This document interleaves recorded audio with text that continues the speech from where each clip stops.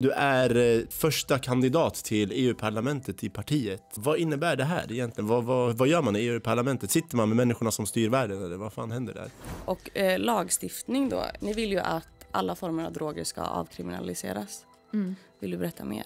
Ja, eh, vi vill precis. Vi vill att eh, alla droger ska avkriminaliseras och anledningen till det är ju... Jag, jag, jag satt faktiskt i en panel med justitieminister Gunnar Strömberg för några veckor sedan. Mm. Eh, och han sa någonting, eh, jag fick eh, äran att eh, kalla honom för korkad tänkte jag säga, men Bra! Fan vad bra! eh, Yes. inte honom ska jag säga, det var inte ett personpåhopp. Va? Jag Det är var- fett besviken. det var-. Ut härifrån! Nej, men eh, han, han sa ju någonting i stil med att Har du åsikter om Sverige joinar NATO? Eh, jag tycker framförallt att det borde ha förankrats mer bland folket. Att vi borde haft en större och längre eh, politisk diskussion i samhället. Framförallt att vi borde haft en folkomröstning. Men när vi pratar om det här, jag tänker på koranbränningarna. Vad är Piratpartiets åsikt om koranbränningar? Det känns som så här helt, en fråga helt utanför men för det, var, det orsakade ju mycket liksom social, eh, vad ska man säga, social... Sociala spänningar, Ja, ex, exakt. konflikter. Eh, Precis, och på tal om det här, det är, informationskampanjer och så vidare. Ja. Mm. Nej men alltså det är ju i grund och botten anser vi väl Säga svärpodden med mig Ali Gorgi.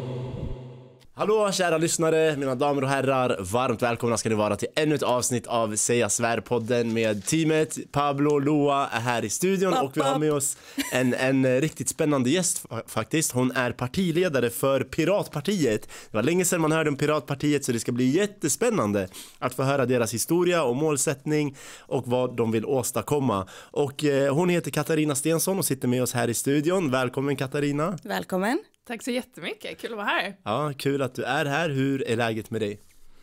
Men det är bra. Skönt. Det är full fart i livet kan jag säga, men eh, det är, eh, det är roligt. Ja, nice. Loa? Det är bara bra. Man behöver inte fråga, fråga Nej. en eh, blåhårig dam hur hon mår, man ser det. Alltså, det är skit. Nej, Nej jag? men I'm good, I'm good. Ja, men vad I'm skönt, vad skönt. Okej, eh, Katarina, du är också, vi frågade dig lite för att säkerställa här i början, men du är eh, första kandidat till EU-parlamentet i partiet. Mm. Vad innebär det här egentligen? Vad, vad, vad gör man i EU-parlamentet? Sitter man med människorna som styr världen eller vad fan händer där? Ja, men sitter och styr världen, tänkte jag säga. Åh, Tillsammans med några andra. det? Eh, hon, hade ett hon hade ett jätteont skratt när hon... Alltså, I like her. Ja, Nej, men det är ju, eh, man är en av, ja, vad är det, 700 någonting EU-parlamentariker. Så det är klart att man inte styr världen själv, men eh, tillsammans med, ehm, ja, eh, vi har ju i Sverige, vad har vi, 21 EU-parlamentariker tror jag, från Sverige. Jaha. Men är det då alltså från olika partier, representanter typ då eller? Precis, så att det är ju, ja, ni kan ju räkna ut då um, att man behöver ha någonstans ja, mellan 4 och 5 procent för att få en, um, säga, en eh, EU-parlamentariker. Mm. Eh, så eh, de större partierna har ju ett antal och de mindre partierna har en eller två. Ah, de okej. mindre av, Ja. av våra riksdagspartier. Då. Just det. Men är ni med i någon kommun, kommun och styr sådär idag? Nej, vi är inte det. Utan vi hade ju eh, EU-parlamentariker, två EU-parlamentariker faktiskt, eh, mellan 2009 och 2014. Men 2014 så tappade vi de platserna. Ja. Så, så eh, vi har ingen representation, vi är inte svenska piratpartiet, men däremot så har ju piratpartiet startats runt om i världen, i runt ja, över 50 länder. Okej. Bland annat Tyskland, där det är ganska stort va? Ja, Tyskland så har de representation på lokal nivå väldigt Precis. mycket, i kommuner och regioner och i eh, Tjeckien sitter de i regering. bland Aha, annat. shit. Så, ja. och vi har ju då fyra piratpartister i EU-parlamentet, fast då från Tjeckien och Tyskland. Heter de Piratpartiet fast på deras lokala språk då eller? Ja, Shit, tänker jag att pirater sitter i riksdagen. Det är något, de har kuppat riksdagen. Nej men så det är ett svenskt parti i början? Mm, det startades i Sverige. Vill du berätta lite historien om partiet? Och liksom, för jag kommer ihåg när jag var liten, du kanske också kan berätta Mm. hur du minns Piratpartiet. Men det här var typ när jag var liten och man laddade ner saker på internet. Mm. Genom så här- Pirate Bay. Ja, Pirate Bay och DC++ och sånt här. Så skulle det komma en lag som förbjöd det här och då började man höra om Piratpartiet som bara nej men låt folk få ladda ner typ. Och det här var när jag gick i nian, åttan eller något sånt. Jag var 14-15 år bara och jag laddade ner ingenting såklart men mina kompisar gjorde. Alltså, That's a lie. Nej, nej, nej, det är såklart inte. All Nej, right. men vi tyckte det var bra att någon stod upp för alla fattiglappar som ville ladda som Alla nyinkomna liksom. Ja, exakt. Alla arbetare liksom. Men hur minns du par- parti, parti, parti, minns Alltså, du? jag minns ju The Pirate Bay eh, också som en fattiglapp när man var liten eh, och typ Swee-filmer och alltså gratis streamingtjänster. Eh, men nu när jag har läst på lite om partiet eh, och gudarna vet att Loa kan ingenting om politik whatsoever. Alltså jag missade helt att det var val eh, 2022. Alltså på den nivån. Men eh, partiet då, det, eh, det är ett svensk frihetsparti i princip eh, som bildades 2006 under ledning av eh, Rickard Falkvinge. Eh, Rick Falkvinge tror jag han vill bli kallad. Okej, Rick, Rick, okej. Falkvinge. Men hon kan ju berätta. Jag tänkte bara hur du minns partiet, Nej, om du har minnen alltså, från partiet. Jag, jag minns det väl kanske som... Alltså jag tror typ att många svenskar, alltså, inklusive jag själv, innan jag läste på mer tänker att ja, men det här är mer ett så här jidderparti, typ kalanka partiet typ. Ehm, tills jag läste på om det och bara wow. Alltså I like what they are saying. Ja. Men så berätta lite historia om partiet och varför du valde att jobba för det partiet. Nej men det började ju som ni sa 2006 startade det, jag tror första januari eller något sånt där. La Rick Falkvinge upp på sin egen hemsida typ. Jag kommer starta ett parti. Vilka är med? För man behöver samla in underskrifter, tusen underskrifter eller någonting för att starta ett parti. Okej. Eh, och han fick ju in det där hur snabbt som helst. Och eh, startade upp då eh, Piratpartiet. Eh, och framförallt var det ju kring fildelningsfrågan då, som, ni, som ni sagt. Att eh, vi hade liksom en... Internet kom ju med helt nya möjligheter i hur man kan eh, ja, men, dela med sig av kultur och kunskap för den delen. Eh, och vi såg det ju då som, nå- jag, jag säger vi, jag var faktiskt inte med i partiet, jag kom in så mycket senare, men ehm, de som startade Piratpartiet såg det som att det här är ju bara något fantastiskt, att vi kan dela med oss av kultur utan kostnad, för det har ju ingen produktionskostnad, det kostar ju inte att, Dela på att internet. nej, skapa en kopia Nej. liksom, digitalt. Det finns ingen kost- kostnad kopplad till det och då, då är det ju liksom bara fantastiskt att vi kan dela med oss av kultur. Och eh, att det här med upphovsrätt, eh, det finns, det finns en aspekt av det som är viktig såklart i att om någon har skapat något ska de kunna få liksom, Betalt för det. ja, och också få liksom, man ska inte kunna ta äran för någon annans arbete och sånt. Men samtidigt så ansåg vi att det gick alldeles för långt i, i, i hur det är. Till exempel så är ju upphovsrätten idag livstid plus 75 år eller någonting. Det finns ju inte en sjuksköterska som får betalt liksom 75 år efter deras död. Eh, Nej. det, det, det finns en, en, bara en aspekt av det som är helt orimlig i hur det fungerar. Eh, och sen eh, finns det också andra aspekter av, av fildelningsfrågan just därför att, och det, och det handlar mycket om hur, hur ska man ta fast dem då som fildelar? För att kunna göra det så innebär det att man måste övervaka all trafik på nätet. Och därifrån kommer väl partiets andra kanske största kärnfråga, integritetsfrågan och rätten. Och du sa att vi är ett frihetligt parti och vi är ju ett frihetligt parti. Ehm, att, att, och vi anser då att eh, man har rätt att, att inte vara övervakad i en demokrati. Absolut. Eh, ja. Så att det, det, de liksom hör ihop också, de frågorna väldigt mycket. Att, eh, just i, det är ingen idé att ha en lag som säger att man inte får fildela om man inte heller kan agera på den. Men det sättet som man kan agera på den och få fast folk ansåg vi inte var i linje med liksom, demokratiska värderingar. Så att, eh, det, är, det är ju liksom grunden för Piratpartiet. För Okej. det, det var ju efter en eh, polisrazzia mot eh, eh, de, alltså fildelningssajten The Pirate Bay eh, 2006 då. Eh, och den razzian skedde ju på grund av alltså, debatten kring internet och eh, påtryckningar från USA. Men var de med i, i partiet, de som vart eh, utsatta för razzian liksom? Nej, jag, de var inte, de som drev Pirate Bay var inte del Okej, av partiet. jag Eh, men däremot så har de väl, ja, de, de kanske var liksom i samma kretsar som vissa. Just det, Inom partiet, samma typ av, det fanns ju, jag tror att innan partiet fanns så fanns det en tankesmedja som kallades Mm. för Piratbyrån då. De Okej. hade tagit det namnet från, eh, alltså det är ju så därifrån namnet kommer för att det fanns en antipiratbyrån som var en sån här lobbyorganisation Mm. emot då fildelning. Och då Aha. tog man den, den här tankesmedjan som bildades för att liksom säga att fildelning kan vara någonting bra. Just det. Eh, de då ja, men, tog, tog namnet till sig, så är det piratnamnet, och bara, ja men då kallar vi oss för Piratbyrån. Just det. Det Men, Piratbyrån. men varför engagerade du dig i Piratpartiet och när, men när började ditt engagemang där? Mm, jag hittade partiet först eh, 2014. Jag hade väl också hört det lite sådär Ja, vid sidan Som om vi alla tidigare. typ har Ja, gjort liksom. precis, hört namnet. Eh, Men 2014 eh, så var det så supervalår. Det var riksdagsval och EU-val, allting samma, eh, samma år, så det var väldigt mycket prat om politik i media och överallt. Och jag kände väl framförallt en ganska stor så här, förtvivlan, för det kändes som att det finns inga som har några visioner. Det är bara massa liksom, smutskastning fram och tillbaka. Det har ju inte blivit bättre kan jag säga, men eh, redan då kände jag det och, och det, det gick till den nivå att jag kände jag orkar inte läsa tidningen eh, för att det, det tar för mycket energi för mig med liksom all negativitet. Bara, jag orkar inte igenom min dag sen om jag ska börja med liksom den här skiten. Det här och det här bara. Ah. Ja, jag har egna problem att tänka på. Ja, och jag hade väl en kort period där jag var medlem i Liberalerna men lämnade det igen för jag kände nej det här var inte, det var inte Varför rätt. det? Eller vad var det som var så här, nej, this is not for me.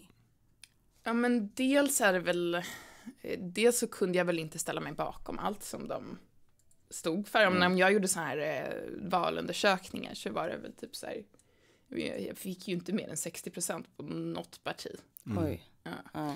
Och eh, jag bara, pff, nej. Och sen så var det dessutom hur liksom partikulturen är. just det. är De verkar, jag har hört att de har någon specifik kultur, speciellt i Liberalerna. Det har de säkert i alla partier, men just eh, LUF, alltså Unga Liberalerna eh, och så vidare. Att de, Vad är det för kultur?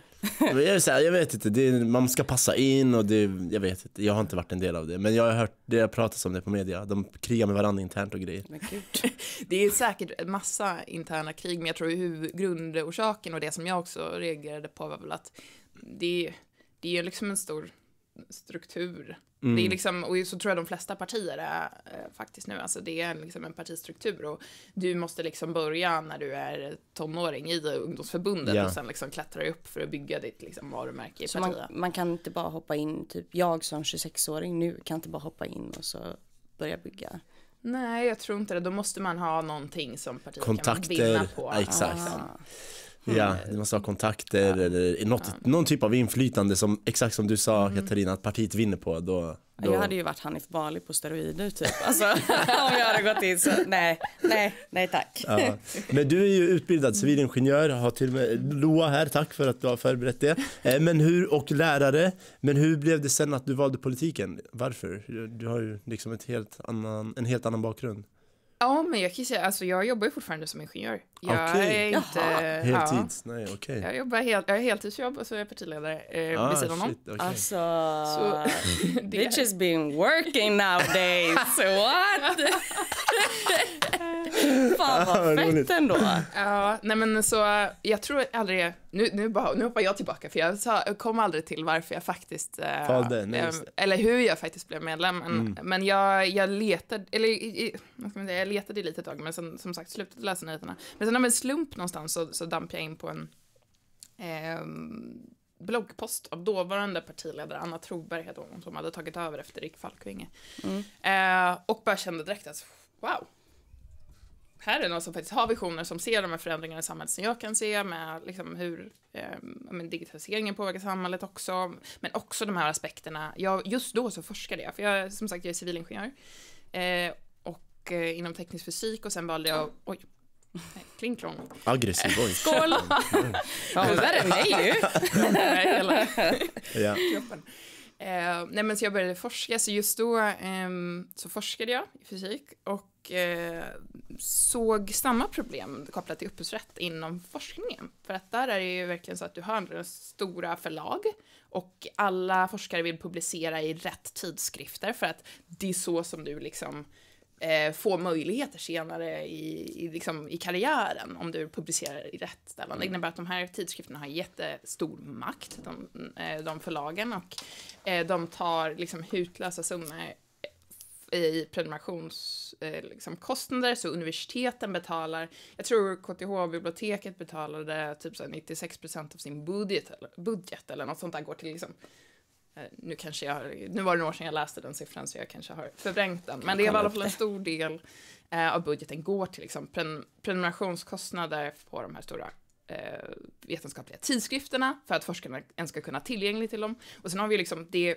fo- eh, skattefinansierad forskning som sen inte finns tillgänglig för skattebetalarna, för det är ju inlåst för alla som inte har sådana prenumerationer. Så att om en skolelev vill kunna göra ett skolarbete så kan de ändå inte komma åt forskningsartiklar, för det kostar liksom eh, jag vet inte, 300 spänn per artikel eller någonting om du ska Shit. köpa dem som privatperson. Mm. Och eh, det är bara så fel. Så, eh, och det där är ju liksom, samtidigt har de så här 50-60-procentiga vinstmarginaler, de här förlagen. Så att de liksom utnyttjar skattebetalarna, utnyttjar forskare också till att göra jobbet åt dem, för forskarna gör så här peer review på varandras Mm. eh, artiklar och sånt. Mm. Eh, så de gör en stor del av jobbet, de skriver artiklarna. Det är ju inte någon på den där förlagen som skriver artiklar liksom. Nej. Eh, så att, eh, det var också en sån sak som var väldigt aktuell för mig just då och som stämde in väldigt Mm. bra när jag hittade på det. Så det, det handlar egentligen för, för din del om att du vill befria information Ja. från massa kostnader och massa människor som tar betalt fast de inte har gjort jobbet basically. Ja, exakt. Alltså, jag tycker i grund och botten, som, som du sa innan, att skapare ska väl någonstans få betalt för, Mm. för kunna ta betalt på, på ett eller annat sätt i alla fall, Mm. för det jobb de gör. Men så som upphovsrätten funkar idag, så stannar inte där, utan det går till liksom extrema mängder och det kan utnyttjas av olika organisationer som, eh, som, som utnyttjar både kulturskapare och forskare och vad det nu kan vara. Så att, ja. Och när vi pratar om förlag, det finns ju typ så här, vi vet att det finns i Sverige några få väldigt stora förlag. Mm. Eh, blir det så att det är lite farligt när det finns en sorts monopol nästan i, i utgivning? Definitivt. Och det här är ju, kommer ju in i jättemånga branscher. Det har varit prat nu senaste tiden om liksom livsmedelsbranschen i Sverige till exempel. Vi har bankerna. Det är Mm. också så här, inte monopol men oligopol, alltså det är ett antal stora. Vad hette det sa du? Oligopol Vad är man, det? Det är ju, det kommer ju från eh, om vi säger, ryska oligarker och så. Alltså det vill Ja. säga det är några stor, eh, där, det kommer väl från att det är, ja, inom, det var väl inom olja och sån Mm. bransch liksom. Eh, det är några stycken som äger väldigt mycket makt. Ja, som är jävligt rika. Ja, och Och- äger företag och Mm. det finns kanske bara en så här, tre, fyra företag på Ja. marknaden. Så ett oligo, en e- oligopolmarknad är ju, en monopolmarknad är ju om det är en aktör som har all Ja. makten. Och en Typ som oligopol- Systembolaget. Ja, Ja, Det är väl ett monopol. Ja, det är staten. exakt. Och oligopol är ju om du har några stycken som ändå då, Typ fem ja men precis. som äger allt. Mm.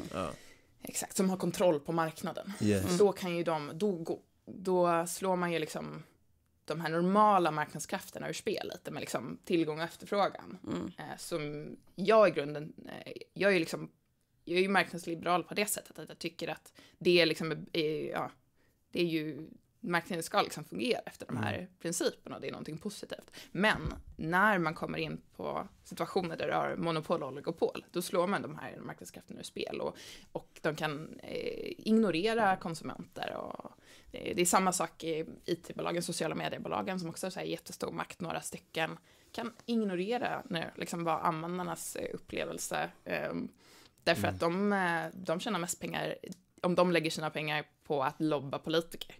Mm. Alltså skapa rätt lagar för dem. Mm. Shit vad sjukt.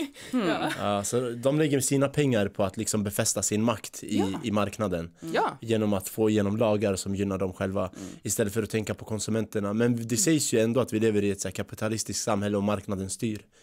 Går det ihop med det här? Tycker du? Eller, för jag, jag får intrycket av att det inte gör det. Nej, alltså på många marknader funkar det. Alltså, Alltså, det, är olika olika branscher. Mm. Många branscher, vissa branscher funkar det definitivt inte, andra branscher funkar det bra. Okej. Eh, och finns god konkurrens så. Mm. Så att eh, det varierar. Ja, men det, det, jag tycker det låter jättetråkigt att kunskap och information sitter bakom höga kostnader liksom. Mm. För det, alla får inte, även om det finns tillgängligt men det blir så en seg process att komma åt det. Mm. Bara för att det är massa betalväggar i vägen och sen går pengarna ändå inte till författaren eller skaparen Mm. utan det går till den utgivaren liksom. Ja, jag tror alltså de som får in, alltså mm, artister och så, som, de Mm. samlas ju pengarna in via typ STIM som är sån här som ska Men den, den äh, förlåt jag avbryter dig. Jag ska tänka på att inte avbryta. Eh, det är lite min nisch att avbryta. Eh, Men ehm, ehm, det här med STIM, alltså till exempel eh, på Spotify, alltså den låga procenten som artisten får. Alltså, tycker du att där, där är det liksom rimligt med så här, ja, men upphovsrätts, STIMs, att det är rimligt liksom? Nej, det är just det, det är inte, alltså hur modellen är. Jag tror att det är lästa, nu vet jag inte om det är, den siffran heller är aktuell, Nej. men typ 11 procent tillfaller faktiskt artisten i slutet. Mm. Och resten Fattar ni försvinner eller? Alltså, precis. Och det är ju bara helt absurt. Eh, Så att, alltså, det är ju, det borde ju gå att skapa bättre modeller där mer. Men tänker man inte då samtidigt att det kan komma någon annan snubbe och skapa en konkurrent till Spotify? Det är ingen som hindrar någon från att göra det. Nej, det finns. Alltså, Deezer, jag använder själv Deezer Ja. istället. Så blir det ändå inte liksom, ja men vadå, marknaden är fri, alla får ju skapa en ny Spotify. Absolut, men... men Nej men, ska Ja. jag fråga? ja, förlåt. Ja, men det, är ju, det handlar inte bara om, det är ju inte bara liksom från Spotify det här gäller, utan även liksom de pengar som kommer in från att musik spelas på radio till exempel. Samma sak gäller där. Det är bara 11% eller någonting som tillfaller artisterna i slutändan av de pengarna som radion betalar till liksom, STIM eh, för att det ska gå till artisten. Så det handlar inte bara om Spotify och så, utan det handlar om hur ehm, hur upphovsrätten är utformad och hur eh, de här eh, ja, organisationerna som påstås liksom företräda artister, men du kan inte som artist välja att vara med i den eller inte. För om du inte är med så får du inga pengar alls. Nej. Är det STIM vi pratar om nu? Ja, Men så STIM är någon sorts något filter mellan artist och Mm. plattform. Så STIM är alltid med oavsett i, när det kommer till artistbransch. Mm. det är lite som att det ska vara, de ska vara liksom de är en insamlingsorganisation, de ansvarar för att samla in det som liksom är upphovsrättspengarna till artisterna och sen Fördela dela, fördela det vidare. Och det är 11% går till artisten. Ja. Alltså det är ju samma sak med film. Eh, jag har jobbat som skådespelerska sedan jag var 17. Eh, nu gör jag inte det längre, men eh, då skådespelarna, de får ju betalt när jobbet är gjort. Eh, sen när det visas, till exempel på bio, då tjänar ju inte skådespelarna på det. Men när det visas på tv, då typ om eh, ja, en, min första film, typ Efterskalv, när den har visats på tv, då har jag fått typ så här tusen kronor. Eh, också någon form av STIM, typ. ja, men exakt, det är ju sån royalty som Ja, du får exakt. i, i efterhand. Precis. Men det är ju ingenting. Alltså, Alltså jag blir bara, jag blir alltid arg i min podd. jag svär, jag vet inte om det här är bra längre. jag blir alltid arg. Vi har alltid gäster som säger saker som gör mig arg. Vad fan är det här? Nej det är skittråkigt att höra allt det här faktiskt. Man känner ju att de som är utgivarna ska inte ha så mycket makt. Utan de ska vara till hjälp och ta 11%. de ska ta 11% av någonting, så ska artisten ta resten. För han har skapat, han har kreativiteten. Och de, okej, de kan ta mer än 11% för de kanske marknadsför whatever de gör, jag vet inte. Även om artister idag själva kan marknadsföra väldigt mycket med sociala medier och så. Framförallt behöver man ju som artist kunna välja om man vill att de ska sköta ens den, det här eller, eller om man vill göra lite som vi har, vi har ju fackföreningar liksom. Mm. Och det kan ju, du kan ju välja vilket fack du ska vara med i och du kan välja om du vill vara med i ett fack eller inte liksom. Eh, de hjälper ju dig på olika sätt och det finns ju ett värde i det. Eh, men där har du ju makten själv att välja vad du vill vara med. Men i det här fallet så har man ju inte. Men STIM, är det statligt? Det är det säkert. Eh, Det är omöjligt privat. Nu chansar det jag här. här så- borde jag kunna. Det Ja. här borde jag veta. Jag vågar inte svara på det. Nej, men det jag är tro. Mest sannolikt, eller hur? Ja. Ja, chansa på det. Jag, Jag, jag tror chansar. det eftersom det är obligatoriskt. Liksom. Exakt. Ja. Så att, att, fast, ja. Mm. Oftast det, är samma deal. Det känns, som, att- det känns inte som att Taylor Swift får samma liksom, avtal som någon annan. Alltså, Ja, hon kanske har högre procent menar du? såklart. Istället för 11 hon får Det måste ju 15. gå att förhandla tänker jag. Jag tror inte Taylor Swift går runt och får 11% Jag tror hon får mycket mer. Liksom. Det Hon får ju plus på henne. Men Stim är ju, det är ju i Sverige. Just Ja. det. Det är ju för svenskar. Ja. Svenska artister specifikt. Mm. Okej. ja men det är nog sant, det beror på hur stor du är som artist kanske, eller någonting Desto bättre deal får du, eller Ja. något. Jag vet inte, det brukar ju vara så. Mängdrabatter. Det kan typ. du nog att du kan förhandla om det liksom. Ja, Mm. fattar. Okej, men eh, så det var det som fick dig att välja partiet i alla fall?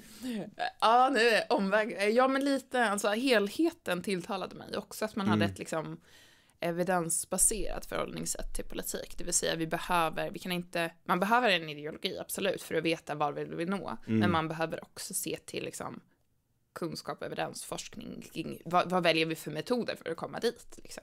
så att vi faktiskt ehm, inte gör någonting bara för att partiet har tyckt det i 70 år, så då fortsätter vi det, utan att man tycker att vi ska göra det här för att då har jag en chans att se, faktiskt chans att se de här effekterna. Så det var också viktigt för mig, att man har liksom evidensbaserat förhållningssätt.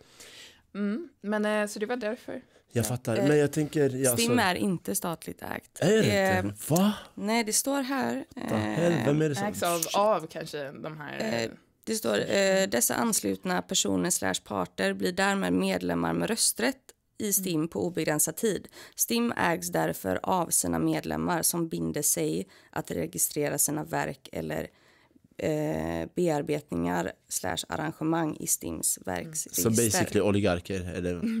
Ja, men det är ju, ja, men jag, jag, jag också, hade också för mig att det liksom, så att säga, ägs av Gamla gubbar i kostym. och så här. Mm. Eh, Men det blir ju alla, alla då egentligen. bara- Det är just det. Så på ett sätt är det en medlemsstyrd organisation, men du har inget val, du kan inte välja att inte vara Nej, för då får du inte pengar. Nej, jag fattar. Men när du, alltså när vi pratar om ert parti, det känns som att partiet vänder sig mest till folk som är insatta i dessa frågor om just internet och, och liksom frihet från övervakning även på internet och sådär. Men generella svensken här ute som kanske har svårt att liksom spara pengar när, när månaden närmar sig sitt slut eller så. Hur ska ni nå ut till dem? Folk som har svårt att handla vilken mat de vill liksom, för kanske behöver tänka på vilket smör eller vilken grönsak man köper och så vidare. För det är det som jag tror folk främst tänker på när de väljer parti. Tror Ja, du det? Det ja, tror jag alltså faktiskt. just nu, alltså, i- allra helst just nu. Absolut. Med tanke på de eh, helt orimliga priserna. Eh, både för hushåll och också för alltså, att du ska kunna leva. Alltså överleva. Och sen är vi faktiskt i Järva just nu så att det, jag, Ja, jag ifrågasätter inte det, det var inte så jag Nej, jag menade. jag, Ja, jag vet. Jag, eh, jag tycker det är ett fullt rimligt sätt att, att, eh, att välja parti. Eh, Men känner ni att, att de andra partierna faktiskt gör någonting för Ja, att... absolut inte, men eh, de partierna, alltså det är ju så här, de har ju nått ut redan. Mm. Så att de finns redan på folks alltså, näthinnor. Mm. Eh, jag tycker ju att eh, av det jag har läst om er att ni har väldigt bra Mm. alltså, politik. Eh, och har väldigt vettig politik Mm. och rimlig. Eh, hur ska ni... Jag hade, hade, hade inte du gästat så hade inte jag läst om er Nej. eh, och fått den uppfattningen. Hur ska ni alltså, nå ut till gemene man, till ungdomarna ehm, för att ni ska kunna sen visa så här, det här är vi typ. Nej men det, det är ju kanske den, den eh, frågan som jag funderar själv mest Mm. på hela tiden. Och det är ju liksom alltid en balans av att när man är ett mindre parti, en balans av att man måste man måste vara till, tillräckligt fokuserad i sin kommunikation, inte för splittrad, för då kommer man inte, dels så har man inte lika mycket resurser som de större partierna, så du behöver liksom fokusera våra resurser på kanske en fråga eller två frågor. Eh, och samtidigt måste man börja där man har någon typ av förtroende redan, eh, men samtidigt så vill man ju Alltså, så, så, som, som du säger, vi har ju politik inom en mängd olika områden. Om man vill nå ut. Men det är, alltså, det är alltid liksom en balans mellan om vi, om vi splittrar vår kommunikation för mycket så når vi inte igenom någonstans. Så eh, det vi väl försöker göra är väl kanske att fokusera mera eh, på de frågorna som ligger närmare våra ursprungsfrågor kopplat till internet, kopplat till digitalisering, men det kan även vara liksom då angränsande. Vi pratar ju mycket om, liksom, om um, demokratifrågor, för det kopplar mm. väldigt tydligt till liksom integritetsfrågan och, och, och uh, som är ju väldigt kärnfråga för oss. Vi, vi pratar även om men till exempel alltså konkurrensfrågor som vi, som vi pratade lite om här. Mm. Uh, och det, då kommer man ju in lite på till exempel matmarknaden och så, men det blir kanske för komplext för ja, gemene man absolut. att förstå. Ja. Men, uh, men det finns ju liksom, det, det ligger ju väldigt, ska man säga, vi måste någonstans utgå från där vi har liksom en stark kärna. Sen mm. har vi ju pratat en hel del om andra frågor som kanske är mer, vad ska man säga, populistiska, men där vi också grundar oss i en liksom, evidensbaserad syn, där det gäller frågor kring till exempel cannabis och narkotikapolitik. Miljön, eh, där vill ni också ha mer evidensbaserad. Mm. Eh, så Ja. Precis, och det är väl med den typen av frågor som vi känner att där kan vi också, och det handlar, det är också en, en det är dels frågan om att ha en evidensbaserad politik, dels fråga om, om de liksom frihetliga mm. grundvärderingar, att vi någonstans tror på liksom att eh, ja, men, egen makt och individens möjlighet att kunna liksom, någonstans både ha möjlighet att få hjälp och men också ha en möjlighet att välja mm. göra val i sitt eget liv. Ja. Så. Eh, men eh, mm. du kom ju in på er demokratipolitik. Mm. Eh, jag tycker att ni har en ehm, väldigt eh, sund demokratipolitik. Eh, till exempel eh, en punkt direktdemokrati, mm. vilket jag aldrig har hört innan. Men det kanske mm. bara är jag som är hjärndöd, I don't know. Mm. Eh, men där, eh, när jag läste på om direktdemokrati, det är ju egentligen basically vad demokrati ska vara. Mm. Fast vad det inte är. Um, vill du berätta lite om det? Ja, jättegärna. Mm. Jag säga, det här är kanske min, eh, här, en av de frågor som ligger mig varmast om hjärtat. Ja. Och, och också är centralt för partiet. Vi har ju våra grundvärderingar, vi brukar prata, prata om frihet, värdighet och deltagande. Mm. grundvärderingar. Så är man ett frihetsparti så måste man ändå ha, vi behöver ha en, andra värden också som är med och mm. styr. Mm. För annars kan man säga, att frihet kan betyda lite vad som helst. Uh, men, och just det här med deltagande, det är ju otroligt viktigt, både för att, att man ska känna liksom, agens över sin situation så måste man vara delaktig i, mm. i eh, att skapa den situation man är i och även då politiken. Mm. Framförallt på en lokal nivå, alltså i kommun, kommunal nivå så borde man kunna göra det mycket, mycket mer. Mm. Eh, direktdemokrati är ju en, vad ska man säga, termen brukar, brukar man använda för liksom ren direktdemokrati, det vill säga så här, ja, men du ska egentligen få som, som medborgare in och rösta i varenda fråga om det kan vara i kommunen ja. eller i riksdagen. Så. Sen självklart, varenda fråga är ju inte rimligt heller. Nej. Men väldigt många är rimliga ändå att svenska folket ska få säga sitt. Och att det ska tas hänsyn till vad svenska folket säger och tycker och vill. Ja, och framförallt så det finns ju jättemånga mellanting däremellan mm. liksom en direktdemokrati och där vi är idag, där vi har representativ demokrati. Men det är ju inte så att du känner att du har så stor möjlighet att påverka ens de liksom, som du har Nej. röstat på. Nej. Eh, för att representera dig. Ehm, så det finns ju en massa saker däremellan man kan göra. Ehm, att man mer liksom kontinuerligt kan välja vem som ska representera en i olika frågor. Alltså om du nu mm. har politiker som ställer upp i kommunvalet eh, eller du har de som sitter i, i kommunen till exempel, att du ska kunna eh, säga men... Eh, mm, Förlåt, jag måste bara be dig att... Rikta mig mot, jag sitter med dig här. Ja, men, ja, Ja, det kan jag så. Förlåt, nej, för den, den tar inte upp ljudvågorna. Ja, ah, jag förstår. Nej, det var... Får prata i mungipan? Nej, men det är bra. Du kan, du kan sträcka den lite närmare till dig också, dra in den. Ja. Nej, men... Uh, det kan ju både vara så att man kan välja vem som ska representera sig en i vissa frågor, men det kan också vara till exempel att vi oftare har eh, folkomröstningar. Och det kan vara rådgivande folkomröstningar också, bara, men att mm. man använder sig av olika typer av verktyg. Vi har massa digitala verktyg idag som man kan använda också för att mm. eh, crowdsourca lagstiftning till exempel. Mm. Att vi kan vara med och diskutera och utforma lagstiftning. Mm. Eh, det är också en fråga om att ta vara på all den kompetens som finns i landet. Mm. För jag menar, det vet jag ju själv, det är ju ingen chans att man som politiker kan sitta och kunna allt. Nej, mm. absolut Nej. inte. Och eh, lagstiftning då. Eh, då kan vi gå tillbaka till det, drogpolitik. Ni vill ju att eh, all, alla former av droger ska avkriminaliseras. Mm. Vill du berätta mer? Ja, eh, vi vill precis. Vi vill att eh, alla droger ska avkriminaliseras och anledningen till det är ju för att människor ska kunna få hjälp. Mm. Framförallt att folk ska söka vård när de behöver vård. Mm. Eh, och eh, då, då är det viktigt att de inte riskerar att hamna i fängelse för Precis. att de söker vård. Eh, sen har vi ju också en liksom, åsikt att vi vill att vissa, eh, vi anser att vissa eh, droger kan legaliseras, det vill säga att man även ska kunna köpa dem på en Mm. eh, marknad. Så, Mm.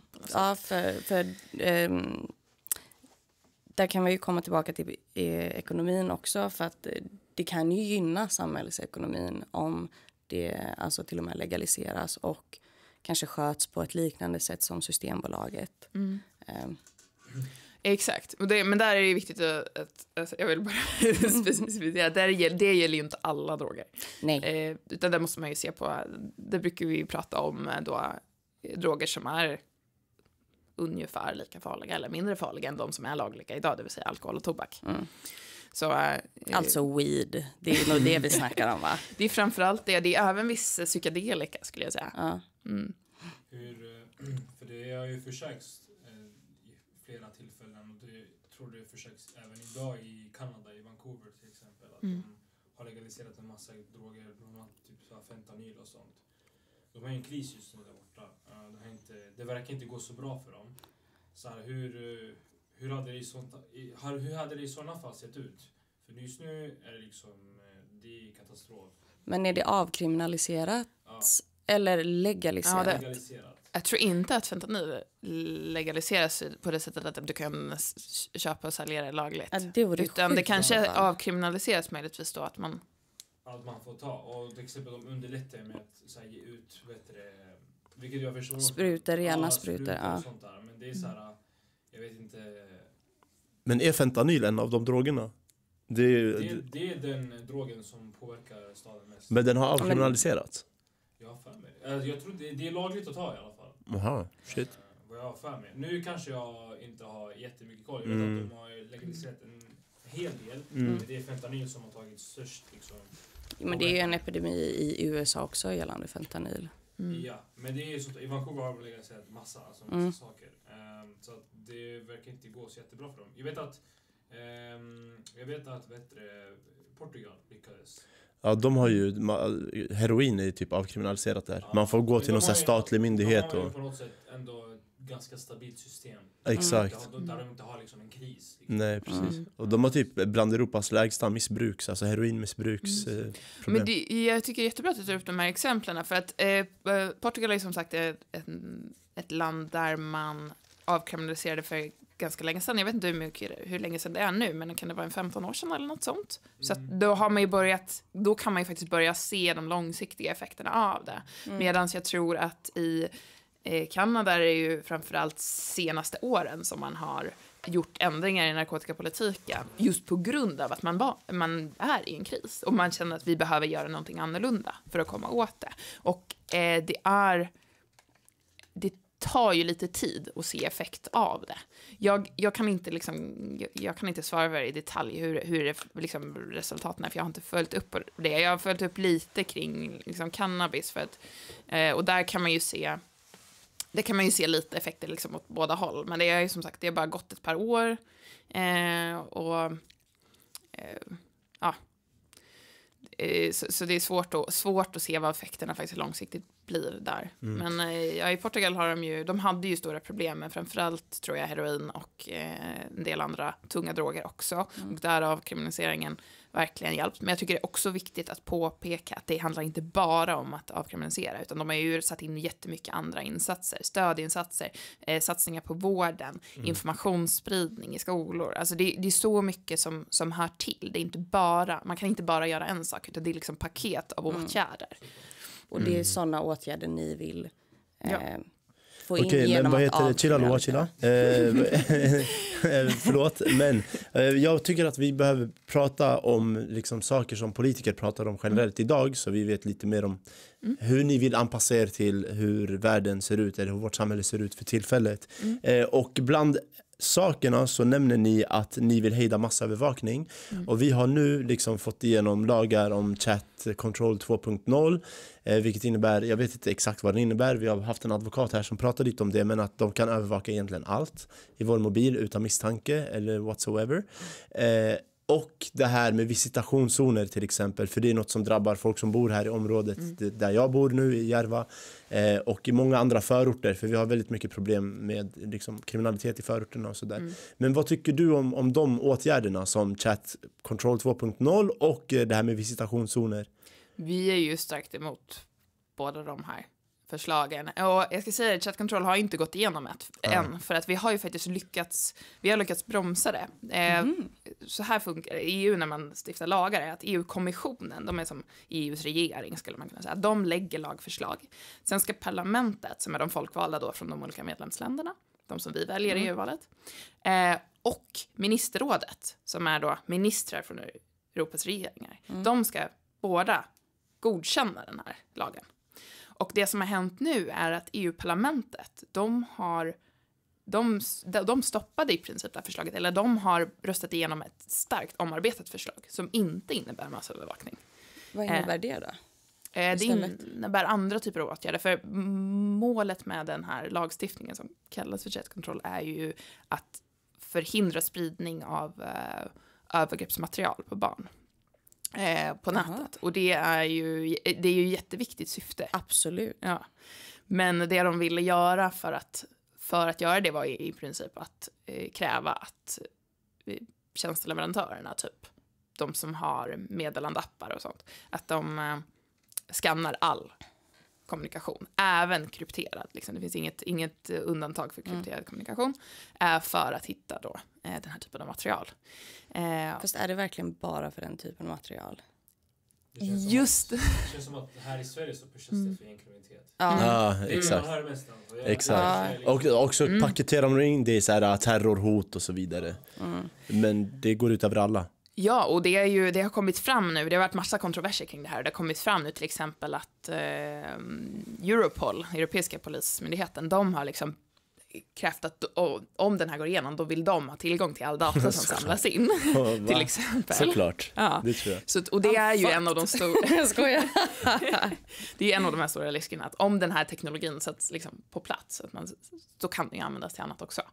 Eh, så att liksom, ändamålsglidning blir väldigt lätt. Och det har vi liksom sett innan. Ja, men det börjar med terrorism och sen så vill man använda det till gängkriminalitet och sen, till Sen något blir det annat. allt möjligt egentligen. Ja. Men vad heter det? Vi ser ju att i samhället nu kriminaliteten har varit på tapeten väldigt mycket. Även om brottsstatistiken har sjunkit, alltså det är färre brott som begås generellt idag jämfört med för typ, jag vet inte, 40 år sedan eller 20 eller 30 år sedan. Men det är fler grova brott som begås, alltså så här vapen, skjutvapenbrott begås idag jämfört med tidigare. Men ert parti, förhåller ni er till de här frågorna på något sätt? Liksom kriminalitet och hur löser man den frågan och så vidare? Ja, nej men verkligen. Där, eh, det, det gör vi ju såklart. Det måste alla partier göra. Men vi anser även här att vi behöver liksom ha ett evidensbaserat förhållningssätt. Och som, som du säger, exakt, det här är ju jätteviktigt att kolla på vad är det för specifik, vad är det specifikt för data vi har, vad är, vad är det för brott som, som begås. Och det är ju mycket de som drabbas av brotten nu är ju de som faktiskt också är del av kriminella gäng. Det är de som även är ja. offren Tyvärr så har det gått ut över andra också ibland, men Mm. majoritet, ja. i stor utsträckning. Eller de som, eller Som är små någon- påtända barn som ska gå och skjuta folk. Vad fan, det är klart att... Ah, fan! Nej, fan, det var ju en brud. Helvete. Ja, bam. Redan klart. Alltså, Jo men det är klart att det blir, det blir, det, det har gått ut över andra. Men det skulle man ju kunna säga också om alla andra brott. Eh, jag menar, det, du har ju folk som blir nedkörda av rattfyllerister och liksom. Det, det, det händer ju alla brott. Men här, det som är speciellt här är ju att det är framförallt då eh, väldigt många som drabbas av väldigt eh, liksom, allvarlig brottslighet som är del av, av kriminella gäng eller i anslutning på något sätt. Har någon koppling till kriminella gäng. Och det är klart att det måste tas på, eh, tas på allvar. Framförallt för alla de som dras in Alltså dras in, Ja. som du säger, barn. Eh, också kan det ju vara i många fall. Ehm, eh, men även där är det ju då jätteviktigt att vi, att vi håller oss till liksom, de metoder som har någon sorts evidens. Att göra någonting åt det och också att vi pratar om brotten på rätt sätt. Alltså att vi Mm. pratar om det för, för vad det är och inte, inte kan vara. Men tror du inte att, ja, förlåt mig avbröt, men tror du inte att ert parti li, hamnar lite i efterkälken i debattklimatet när man har vissa partier som öppet pekar på här har vi eh, eh, en grupp människor, Mm. de är ett problem och vi måste lösa detta problem för det är de som är bakom kriminaliteten, de som är bakom att ta liksom, eh, statens resurser i form av bidrag, de har inga jobb och så vidare, de bygger på det här. Mm. Hamnar inte ni då i efterkälken liksom efter att ni inte pratar om de här sakerna lika mycket trots att det är väldigt relevant, det är allt vi hör om idag. Även om allt det som nämns inte stämmer kanske, men det är allt vi hör om. Jag tror också att det behövs en motpol till det där. Absolut. Och det försöker vi att prata om. Eh, sen har vi inte riktigt resurserna att göra det så mycket Ja, som vi skulle vilja. Okej. Men, eh, men det behövs verkligen en motpol, både som föreslår andra lösningar och som argumenterar emot dem. Jag, jag, jag satt faktiskt i en panel med justitieminister Gunnar Strömberg för några veckor sedan. Mm. Eh, och han sa någonting, eh, jag fick äran att eh, kalla honom för korkad tänkte jag säga, men Bra! Fan vad bra! eh, Yes. inte honom ska jag säga, det var inte ett person på. Va? Jag det är var- fett besviken. det var-. Ut härifrån! Nej, men eh, han, han sa ju någonting i stil med att vi ger bara polisen det de ber om. Och jag sa, men det är ju ett otroligt korkat argument. För att det, det, skulle vi göra det med alla, skulle vi, sk- vi man kan inte ha den utgångspunkten som Nej. politiker. I så fall skulle vi alla eh, eh, vad är det, socialarbetare det de ber om, alla lärare det de ber om, alla medborgare det de ber om. Det, man kan inte ha som, som politiker är man ansvarig för att ha en övergripande liksom. Man behöver se till helheten och göra en analys av vad som är rimligt. Man gör olika liksom, bedömningar. Det är ju en politikers huvudsakliga uppgift. Det är väl bättre att i, i så fall kanske ge lärarna och skolorna det de ber om. Vården. Så, och, Vården. ja, men, ja, ju åt absolut. Men alltså, också, fan, med vårdköer. det börjar ju alltså när du är liten. Du behöver ju bli uppfångad Absolut, ja, ja. då. Alltså, Precis, om vi pratar eh, gängkriminalitet och vad vi faktiskt kan göra så är ju mycket förebyggande åtgärder där det handlar om liksom skolan. Och det här är mitt andra område som jag är otroligt jag vet det, passionerad kring. Jag är ju som sagt lärare också. Jag har jobbat i högstadiet eh, eh, som matte NO-lärare. Och det är ju... Man ser ju så otroligt tydligt vad det liksom... Hur mycket hur vi inte ger barn de möjligheter de skulle kunna ha. Och framförallt att vi inte sätter in eh, stöd tidigt. Jag vet under min utbildning att, att när vi pratade om eh, vet du det, specialpedagogik till exempel. Eh, Vår lärare i den kursen var från Finland och hon berättade där så, så sätter man in eh, så att alla elever som inte kan läsa flytande i under första, efter första liksom, året, eller redan efter ett halvår liksom, i ettan, de får någon typ av stöd av en speciallärare. De får gå en gång i veckan eller någonting till en speciallärare för att träna. Man identifierar vad är det för delar som, som de inte liksom, som gör att de inte har kopplat än, som gör att det inte går. Och så tränar man på det liksom. Och det gör att nästan, jag tror att det är nästan 50% av alla elever får någon typ av stöd tidigt. Och det som händer då, det är att nästan ingen behöver stöd i högstadiet. Så att man har liksom en kurva som går så här, från 50% och så går det neråt, neråt när man kommer i senare skolåldern. Därför att vissa behövde bara, liksom, de, de hade bara fastnat på någon grej, så de behövde bara gå tre gånger till den här eh, specialläraren. Och några andra fick hålla på en termin, men sen släppte det. Shit. Några stycken får fortsatt liksom, stöd. Det är som talpedagoger, Fan, till fint. exempel barn som är, lä- eh, inte kan säga R. Mm. Till exempel. De går ju till ta, eh, talpedagog. Sen i senare ålder, ja, de kan säga R. Ja. Det är till men fan vad fint, det här har jag aldrig hört om. Att man ger dem, alltså man försöker identifiera vart har de här låst sig liksom. och Mm, är sen försöker man låsa upp den. Ja, och det är så viktigt för att om man inte sätter in stödet då, utan sätter ut in stödet först i så högstadiet eller kanske sexan, sjuan att man börjar i Sverige, för då börjar de få betyg, så då ser man på betygen. Men lärarna vet ju redan tidigare, de ser ju 100%. vilka som har utmaningar. Eh, men då, då har ju eleverna gått liksom sex, sju år och deras självförtroende bara liksom brutits sönder.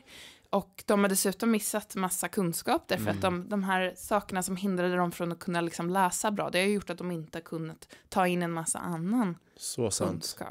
Så, att, eh, Så sant, det är väldigt bra sagt. Men jag, jag skrattade lite när du berättade om det här finska, att läraren var från Finland och Ja. att och hon höll på att säga så här, men vi i Finland, då tänkte jag på typ att hon sa så här, nej men i Finland så tar vi dem till mörka rummet och så misshandlar vi dem och så lär de sig riktigt bra. jag satt och tänkte på det där medan du dem i berättade. bastun. Ja, exakt, vi tar dem till lite bastu och så piskar vi de ungjävlarna och så. Jag vet inte vad de gör i den speciallären. Ja, Nej. exakt. Hur de gör det, we don't know. Men de Metoderna de använder är oklara. Nej, jag skojar. Okej, men det var det jag tänkte på. Det var väldigt roligt. Eh, ja, men intressant. Det är en väldigt bra idé tycker jag. Och eh, tyvärr så tror jag inte att det kommer gå igenom här i Sverige för att här Våran politik har blivit som jag nämnde tidigare, så här, hitta problem, peka på det och bara klaga. Ja, jag, tänk, jag tänkte nästan kritisera er lite i så här, era frågor till mig. För ni bara, hur ska ni komma igenom i debatten? Hur ska ni det där? Ja, men, ja. Det är klart att det är rimliga frågor. Men jag menar, det är ju just för att politiker är fokuserat på vad är det av allt det här som vi kan eh, göra för att, eller argumentera för, ta ställning till för att nå igenom i den här helt galna debatten vi har. Mm. Det är liksom det som har gjort lite att, att vi också i den, att det blir, bara blir symbolpolitik och skit. Ja. Ja. Men Så att, ska inte ni liksom bara så här, alltså bara dundra på, alltså komma in som en fucking bulldozer. Alltså jag hade gjort det. Alltså, jag hade musikvideos, den här Wrecking. Ball. Ja men ja, exakt, like exakt. Kan ball. Miley Cyrus hänga så, bam! Typ. Alltså, eh, för att ni, ni eh, står ju inte bakom mycket av det de andra politikerna håller på med just nu, vilket jag inte eh, tror att många alltså, i befolkningen heller står bakom. Nej, men jag försöker bara säga, det, frågorna som vi ställer, det är inte att vi menar att, liksom, att ni tar upp mindre viktiga saker, absolut inte. Ni tar ju upp väldigt, väldigt viktiga saker om frihet och integritet, både på internet och i världen. Liksom. Men jag tänker bara, i klimatet som det ser ut idag så hörs man inte. Om man är sund. Alltså förstår du vad jag försöker säga? Om du är sund och normal och säger vettiga, alltså, ingen bryr sig. Nej. Ja, det är, och det är ju helt sjukt att det ska vara så. Men, men det är ju... Nej, men verkligen, jag har funderat mycket på hur kan vi, kan vi göra politik utan att... Bara, och inte bara prata politik för att gå igenom. Finns det något vi kan göra liksom, för att faktiskt göra politik? Och jag har tänkt mycket på det här som vi pratade om tidigare. Hur kan vi engagera människor i politiken? Kan vi till exempel... Vi, vi skulle ju själva kunna sätta ihop en typ av en sån, eh, eh, plattform där vi kan liksom crowdsourca lagförslag från hela Sveriges befolkning och man kan vara med och utforma eh, vad det nu kan vara. Mm. Eh, det är så här, den typen av saker skulle jag verkligen vilja göra mer av. För Mm. då kan vi, så att säga, även om med det så kan vi både liksom engagera människor och med resultatet av det kanske faktiskt sätta tryck på på de som faktiskt sitter och har makten och det Mm. kan ju även ge oss möjligheter att, eh, att synas. Så att jag skulle vilja göra mer sånt. Va, men varför gör, varför gör jag inte det? Alltså jag menar, jag, jag tror varenda svensk vill vara med och bestämma i, alltså när det liksom är rimligt att man ska vara med och bestämma.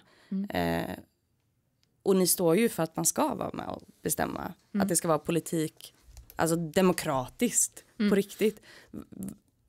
Varför alltså, attackerar ni inte bara med det? Ja, jag får göra det. Jag får Ja, göra alltså, Dundra på. det är bara att ringa om du behöver en pitbull alltså. eftersom Det vara en bra idé. Alltså, det, för jag, jag har. Ja. Vet du, det, men till exempel sådana här grejer som, Mm. som ni snackar om, så direkt demokrati och sånt. Det finns ju ändå sina, det finns ju begränsningar. Det är inte så att man kan liksom... Jag, jag, jag tror inte att det, det är en bra idé till exempel när regeringen kommer upp med, med en budget. Att man ska sitta och, nej, och rösta på det. Det är inte så att alla har så Mm. mycket koll på nationalekonomi. Man måste ju gå exakt. högskolan för att förstå. Jo men att det, det måste ju, alltså inom rimliga, i, alltså, ja, men ramar. Det är det, men var drar man gränsen liksom? ja, och sen blir det ju Ja, också... Okej, men okej, ja. Jag vill ha mindre skatter så vill jag ha mindre skatter. Men alltså vad, alltså vad vet jag om, alltså som, återigen om ekonomi till exempel. Mm. På den nivån där jag kan verkligen förstå vad som händer.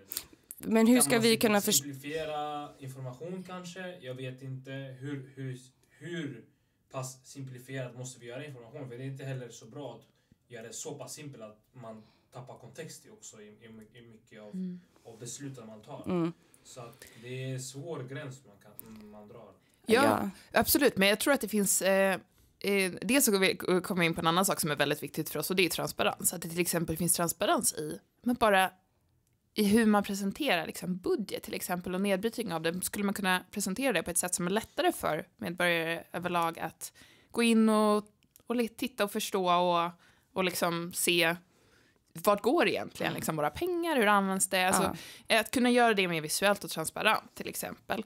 Eh, sen så tror jag att, att alla så lite som vi pratade om innan, behöver inte vara med och bestämma inom alla områden. Utan du kanske har ett område där du har kunskap och där du har eh, insyn och där du har förståelse. Och då kan du gå in och bidra i de situationerna där det är relevant.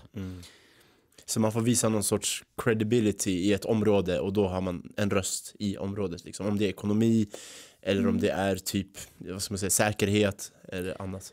Ja, och det behöver inte bara handla om att rösta, det kan handla om att, att diskutera, lägga förslag. Idag har vi också liksom, de sociala medieplattformar som blir vår, liksom, den generella platsen där man diskuterar politik.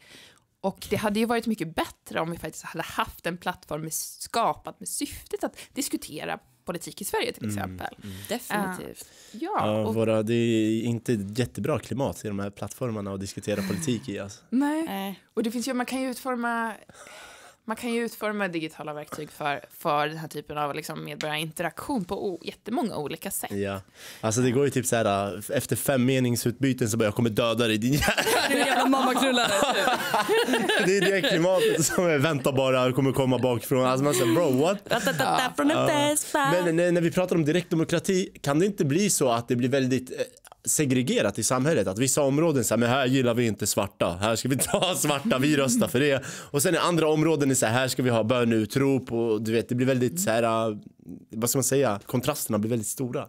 Det kan det, det kan det nog bli. Ja. Jag är inte säker på att det behöver vara negativt. Okej, wow. Alltså det kan, det, det, beror, det beror lite på. Alltså, jag, Kan det inte bli så här klassamhälle, typ så här, här är lite annorlunda, här är för... Alltså, det blir Men så här är det inte redan det? det, ja, alltså jag kan känna så här, om du, om du har, till exempel om kommunerna har faktiskt mer självstyre än vad de har idag. Alltså att mindre saker styrs från liksom statligt håll. Och att man kan engagera de som bor i kommunen mer att vara med. Liksom, de faktiskt kan vara med och påverka på ett bättre sätt. Eh, så, att, så att man faktiskt, då, då kommer det också innebära att olika kommuner, ja de kommer se lite olika ut. De kanske kommer ha olika skattesatser och de kanske kommer ha olika bra skola och de kanske kommer ha olika, vad det nu kan vara. Eh, olika många böneutrop eh, och så. Men det, det kanske kan finnas ett, liksom, ett värde. Det behöver inte vara det behöver inte vara negativt. Jag tror det kan finnas negativa saker också i det motsatta, det vill säga att man försöker, eh, till exempel Socialdemokraterna pratar väldigt mycket om liksom likvärdighet över hela landet. Och det är klart att, jag tycker det är viktigt att, att eh, vissa saker ska det, behöver vi ha liksom en miniminivå på kvalitet av till exempel skola. För att det, ska, det är så viktigt för att skapa rätt förutsättningar för människor innan de kan liksom ta ansvar för sina egna liv så att säga. Eh, för att skapa, skapa förutsättningar. Men, men när det gäller andra saker så, så behöver det inte vara så farligt att det finns en, en variation. Utan då kan det bara bli så här att när man ska då detaljstyra i hela landet så blir det istället så att det här passar inte här det här passar inte här för man har olika något ställe långt ut i Norrland på landsbygden är inte samma sak som Järva till exempel. Och det finns olika behov och det kan vara viktigare att det finns möjlighet att påverka liksom, lokalt. Jo men det, det håller jag ändå med dig om. Eh, men jag tänker på, det låter mer som så här, att man, när man går tillbaka, långt tillbaka i tiden och folk levde i olika tribes typ, eller så här, och alla hade sitt egna Alltså, du community. ska alltid överdriva. Men det känns ju lite som det, eller? Ja, Det okej. kanske inte till den nivån man, man ger flexibilitet. Nej, alltså det är väl lite mer åt det hållet, men sen så kan man ju välja vad man sätter för lagar, liksom vad man vill, tycker är viktigt att det ska vara lika över hela landet. Hur, hur mycket som ska vara, vad som ska vara lokalt styrt och vad som ska vara nationellt styrt, det får man väl då hitta. Mm. Hur hittar vi balansen? Men jag läste på er hemsida att ni nämnde en punkt i ert partiprogram, eller vad man ska kalla det, eh, var att reformera personnummer. Ja, den var ju också... Vad betyder det här Vad, då? vad, ska vi göra? Alltså, Ska vi ha ett chip i armen? ja, eller, what? Nej, det, alltså jag skulle säga att det finns... Nej, men det är ju framförallt därför att eh, personnumren idag säger ganska mycket. om- De säger var du är född, eller om du är född i Sverige eller inte. Alltså beroende på, de siffrorna i de fyra sista säger en del om var du är född, Är det så? eh, vad du är för kön och så vidare. Det vet jag kön, men är det så här, om du är utlandsfödd så har det en viss siffra? Va? Vad sjukt! Mm. Och Shit, därför anser vi att det liksom är, och det, det, och personnumren används i Sverige i ganska många olika sammanhang, det vill säga det är inte riktigt en, det är ju en känslig handling men det är ganska många som får tillgång till det Eh, och därför tycker vi det är viktigt att man inte kan dra liksom för mycket information ur det som du kan använda, som kan användas för, för diskriminering till exempel. Så att eh, det är väl eh, det är väl en sak. Hur eh, tänker ni att det ska se ut istället då? Ja, att de fyra sista kan ju vara random. Mm. Mm.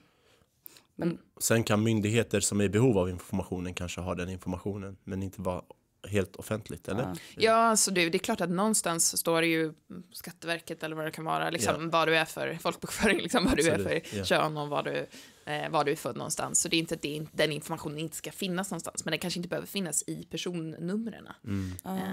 Men sen har ni också skrivit att offentlighetsprincipen ska förstärkas och det, off- offentlighetsprincipen är ju att jag kan ta del av LOAs brottsregister, inkomst, eh, adress och allt möjligt. Det där är ju ganska, jag personligen tycker det är ganska dåligt att man kan få ta del av så mycket information om någon annan människa i För samhället. samtidigt så tycker jag också att det är dåligt att vi inte får ta del av till exempel, ja men den här personen är eh, dömd pedofil till Ja, exempel. Eh, Det är sant. Eh, Hur, det kan ju vara bra för typ skolor kanske eller dagis och veta att, eller förskola, ursäkta, don't hate me. Eh, att fan 200 meter här borta så bor det fem Ja, okej, pedofiler. ja, ja. Alltså- Tänk på ordet, det, vi blir gulmarkerade. Aha, oj. men, Oj, men vi, ja, vi fattar. fem Ja, stycken pip. ja. Ja, alltså det där är ju en jätte liksom, balansfråga, för offentlighetsprincipen är ju väldigt mm, viktig för att kunna granska makten till exempel. En sån här sak som har varit, eh, var en hel diskussion förra vintern var ju kring det här elstödet. Mm. Eh, och att eh, man inte ville då eh, redovisa hur mycket elstöd folk fick. Därför att det skulle ju då innebära att man så att säga offentliggör information om vad folk har för ja, Förbrukning av el och elkostnader. ja, exakt. och att det Vilken standard av liv de lever typ. Ja men precis, så att det liksom är integritetskränkande. Och det kan det ju vara, men då måste man liksom dra balansen mellan det och att är det rimligt att vi, ja men så här, man måste ju ändå kunna granska liksom. Är det rimligt att, att någon får liksom 250 000 i elstöd för att Som de har en ans- jättestor Exakt, lyxvilla? de är redan superrika. Mm. Behöver de det här stora elstödet då? Ja, och, sen, så det är ju, och det är också viktigt för att journalister ska kunna utreda, alltså offentlighetsprincip är jätteviktig för att journalister ska kunna göra granskande arbete. Eh, så det är, men jag, alltså jag håller med er om att det finns problematik också med det och det är verkligen eh, en svår balansgång. För, eh, ja, det är en jättesvår balansgång. Det jag framförallt skulle vilja är att, att eh, eh, offentlighetsprincipen eh, förändras. För idag så, till exempel om journalister vill begära ut Vart går våra skattepengar? Typ. Ja, eller så här mejlkonversationer från en kommunpolitiker eller någonting för att utreda någon grej. Så har de möjlighet liksom att eh, fördröja det där och bara ah, nej, vi måste posta det, vi måste skriva ut allting på papper och posta de här, eh, eh, vad det nu kan vara, 15 000 sidorna. Och därför så innebär det en kostnad för dig som journalist på eh, 75 000 kronor för vi har rätt att ta ut det. Alltså det, det när uppgifterna, alltså de kan göra saker för att förhindra att journalister får tillgång till uppgifter trots att de egentligen bara kan skicka det digitalt och det till ingen kostnad och de skulle kunna göra det eh, nästa dag. Så, så gör man liksom allt man kan, använder alla liksom loopholes i de här lagarna därför att formuleringarna i dem är från en annan tid. Liksom. Eh, Så det handlar mer om att uppdatera offentlighetsprincipen skulle jag säga, så att den är liksom fyller de syften som vi vill att den ska fylla. Men jag tycker eh, vi behöver även göra vissa inskränkningar, jag skulle säga inte i offentlighetsprincipen som sådan, men kanske liksom hur man får göra uppgifter tillgängliga. Det har varit en del diskussioner kring så här Mr. Koll och den här typen av tjänster på nätet där, det, där man sammanställer, där sammanställs på nätet öppet väldigt mycket information från olika källor. Och det man kan, skulle kunna göra till exempel är ju att liksom um, eh, skapa lagstiftning för att inte göra, alltså förbjuda den typen av publicering av liksom sammanställning av personliga mm. uppgifter. Mm. Snarare än liksom eh, ingränsningar. Eh, men att man fortfarande som individ kan gå till en myndighet och begära ut information om en person. Eh, därför man utreder den personen. Det måste fortfarande vara möjligt. Men kanske inte det här att allting om alla ska publiceras mm. öppet. Så man behöver hitta liksom var var gör vi inskränkningarna och var gör vi liksom förstärkningarna för mm. att det ska fylla de syften som vi vill. Just det, mm. jag fattar. Men i samtida frågor ute i världen och så här politiska händelser och geopolitik och sånt, eh, mm. brukar ni diskutera sånt internt i er, ert parti? Det gör vi naturligtvis. Framförallt skulle jag säga att det, det är ganska stora...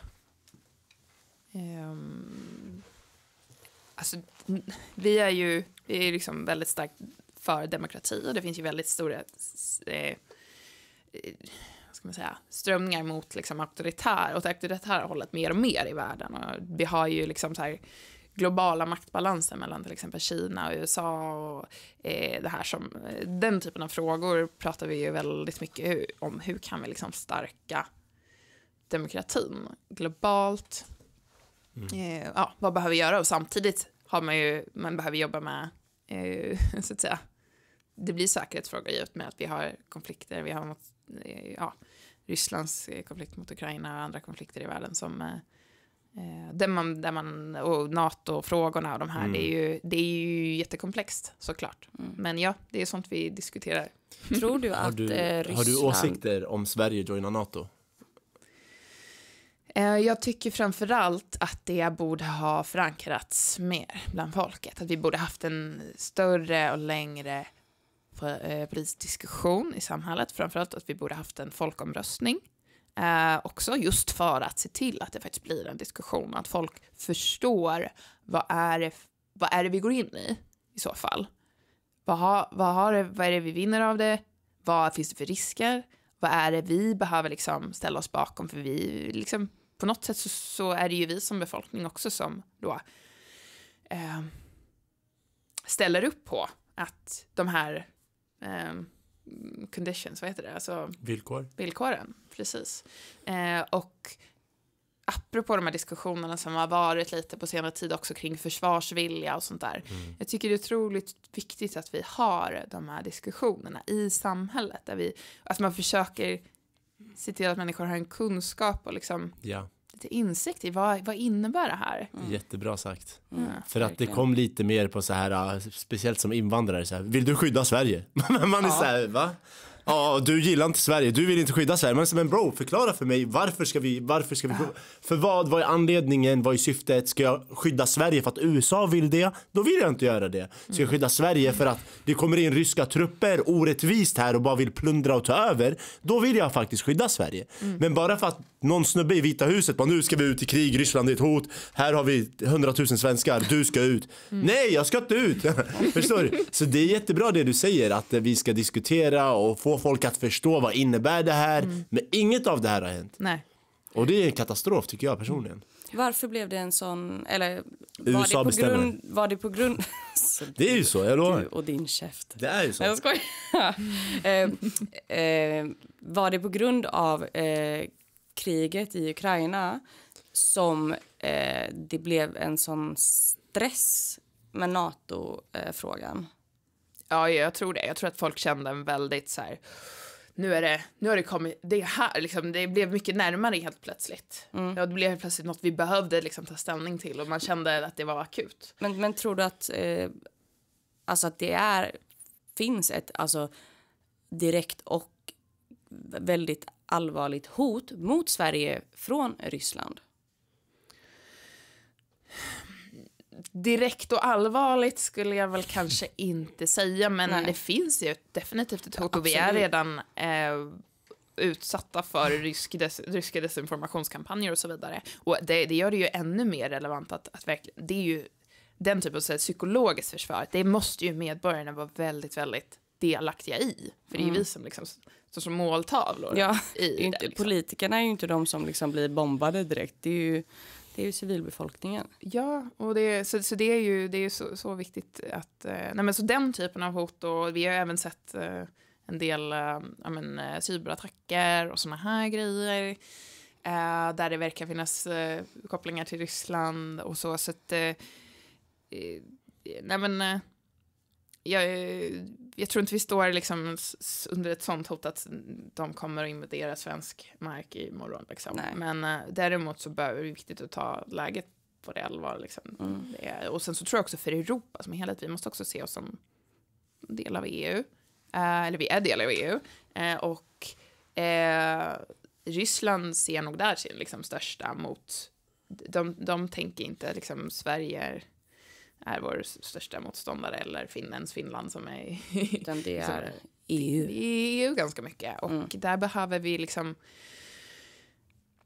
Ja, men det, det är en massa så här, det är också så här psykologiska frågor. Hur eh, ser vi till att vi... Ja, men det är just det där med försvarsvilja. Ser vi, ser vi en gemenskap? Ser vi en EU, europeisk gemenskap? Är det någonting som vi är liksom beredda att ställa upp för? Har vi några gemensamma värderingar? Hur, hur ser vi till att vi också i tydlighet gentemot Ryssland. Eh, jag tror det är sånt där, eh, det är, det är väldigt viktigt för Europa, Mm, eh, hur vi agerar. absolut. Mm, faktiskt jättebra svar. Mm. Tycker jag. Eh, cyberattacker nämner du. Mm. Vad innebär det här egentligen? Man har ju hört om det, men vad betyder det? Alltså det konkreta sätt som väl folk blir drabbade är ju, nu, nu var det en nyligen mot um, företaget eh, Tieto Evry som, som har levererat tjänster då till väldigt många olika företag, myndigheter, universitet och så här. Så att då är det ju såklart att de påverkas, de som jobbar där, de har eh, data som försvinner eh, till exempel, som eh, eh, dels gör att systemen inte funkar för dem, men också att eh, eh, någon annan, några cyberbrottslingar eller någon eh, annan regering, vi vet inte exakt vilka som ligger bakom, får tillgång till en massa information om oss. Eh, så det är båda de aspekterna. Eh, men det kan ju vara så att det kan vara väldigt känsliga system som ligger nere som, som kan göra att samhället inte fungerar som det ska. Men om någon från Ryssland får min adress, Mm. typ, eller vilken information är det som är känslig? Alltså, för det spelar väl ingen roll om någon ryss vet vem Ali Gorgi är och vart han bor. Så här, och vad fan ska jag göra med den infon liksom? Eller vilken, vilken info är det man anser känslig i, när du nämner känslig info? Nej, men jag tror att, eh, ja, det kan vara vad som helst. Mm. Tänk om din eh, Bankinfo. Alltså, bankinfo, det kan vara medicinsk info. Mm. Eh, det kan vara, även, det kan också handla om, igen om att liksom, eh, det är, om man har helheten av information. Data, så här, alltså stor, mycket, ja, ja. så kan man ju liksom kartlägga det. folks rörelsemönster, beteenden och så vidare. Ehm, då tänker jag på sociala medieplattformar. ja, ja, de gör ju redan det. Oh shit vad mycket, de vet ju så mycket om oss utan att vi ens är med. De vet nog mer om oss än vad vi själva vet. ja, 100 procent. För de vet vad vi så här, alltså de mäter alltså specifikt så här, vad ligger du ner sekunder på en video på? Är det så här fotboll, du vet om du älskar fotboll. Typ, eller jag läste på någon bok faktiskt av en eh, historiker, han, eh, eh, han heter Yuval Noah Hariri, någonting sånt. Där han påstod att sociala medieplattformar kan veta om du är homosexuell innan du själv kanske vet det. För att de typ mäter dina ögon, vad kollar du på och vilka videos kollar du på. Kollar du mycket på så här män, fast du kanske inte har erkänt för dig själv att du gillar män så kan det vara så att du kanske... De kan se mönster som är samma som hos andra individer som är öppet homosexuella till exempel. De kan sam- se samma Just typ det. av mönster. Ja. Ja. Och det där är ju... Det kan ju bli jättekänsligt.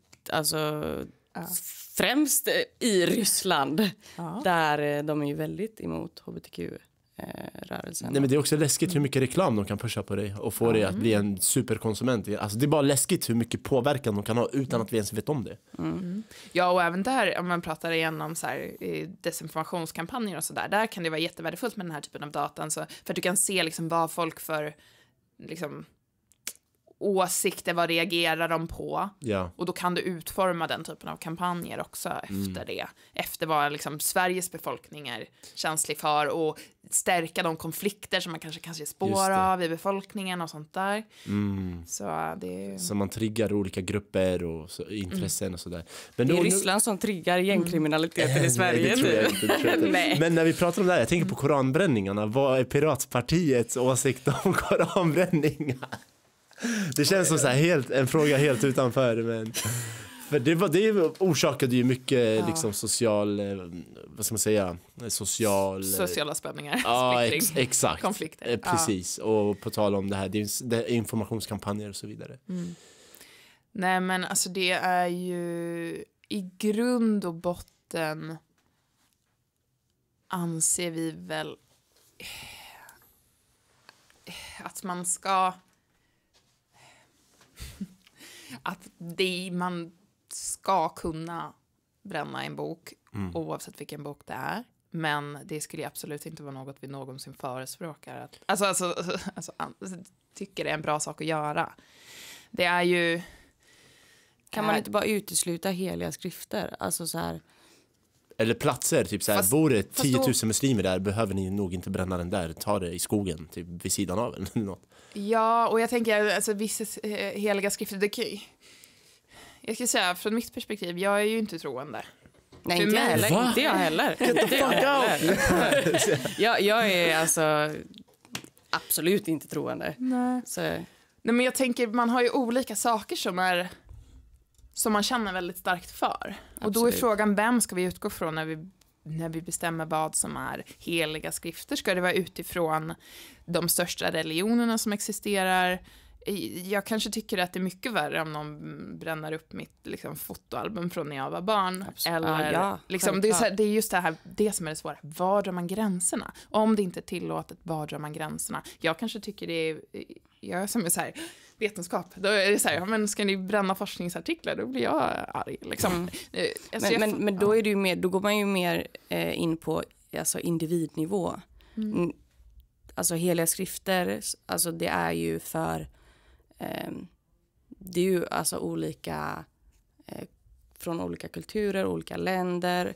Ol, alltså det, det blir ju en hets mot folkgruppen när du går på en helig skrift. För att alltså i Sverige, en, jag skulle inte säga att svenskar anser att Bibeln är en helig skrift.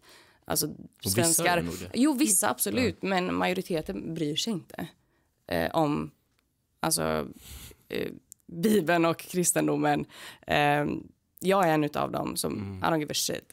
Eh, men i USA till exempel, kristendomen är jätte, jättestark där. Eh, då kanske man inte ska ställa sig i USA och bränna en bibel. Här har vi väldigt många muslimer och muslimer är väldigt, eh, eller många av muslimerna i Sverige är praktiserande. Eh, och då blir det ju jätteladdat och jävligt onödigt att gå och ställa sig och också få skydd. Få liksom resurser från skattebetalarna. Sen de här åsnorna som gick och gjorde alltså upplopp efteråt. Nej, alltså jag håller ju med dig att Mm. jag tycker ju inte att man ska göra det någonstans. Men frågan är ju hur skapar vi en lag? Alltså hur skapar vi lagstiftning som... Man måste ju också kunna, liksom, hur, hur formulerar vi lagstiftningen så att det blir rättvist också? Jag tycker du, du pratar lite om så här, ja det är en, en, en stor grupp, om det är en, de här stora religionerna, då, om det är en stor grupp av människor som, som det är viktigt för och så. Men för mig, eh, jag, jag är väl liksom lite så här, jag tycker det är viktigt, jag tycker individen är viktig oavsett om den tillhör en, absolut. en grupp eller inte och det borde inte, jag menar, du har de här grupperna av muslimer till exempel, de består av individer och det här är någonting viktigt för dem som individ. Det tycker jag är det viktiga utgångspunkten, inte hur många som, som tycker att det är en viktig skrift och hur arga de blir om den bränns. Utan vi behöver, det, det, det är liksom, i så fall är det bättre att ha ett eh, generellt liksom regel som i Finland. Man bränner inte, eh, man får inte bränna saker på allmän plats. Nu pratar jag om Finland igen. Som så här, men för det är en risk att bränna saker på allmän plats. Men, eh, om man inte har någon sorts eh, tillstånd för majbrasa eller vet i tusan. Ja. Alltså. Men alltså, det... Jag, tycker verkligen att det är fruktansvärt det som gjordes hur man brände koraner. Men jag vet inte hur jag skulle kunna liksom föreslå en, formulera en lagstiftning på ett annat sätt än den vi har. Det är klart man kan, göra justeringar i, i vad... Men att inte bränna på allmän plats, bara Mm. det, det är ju alltså...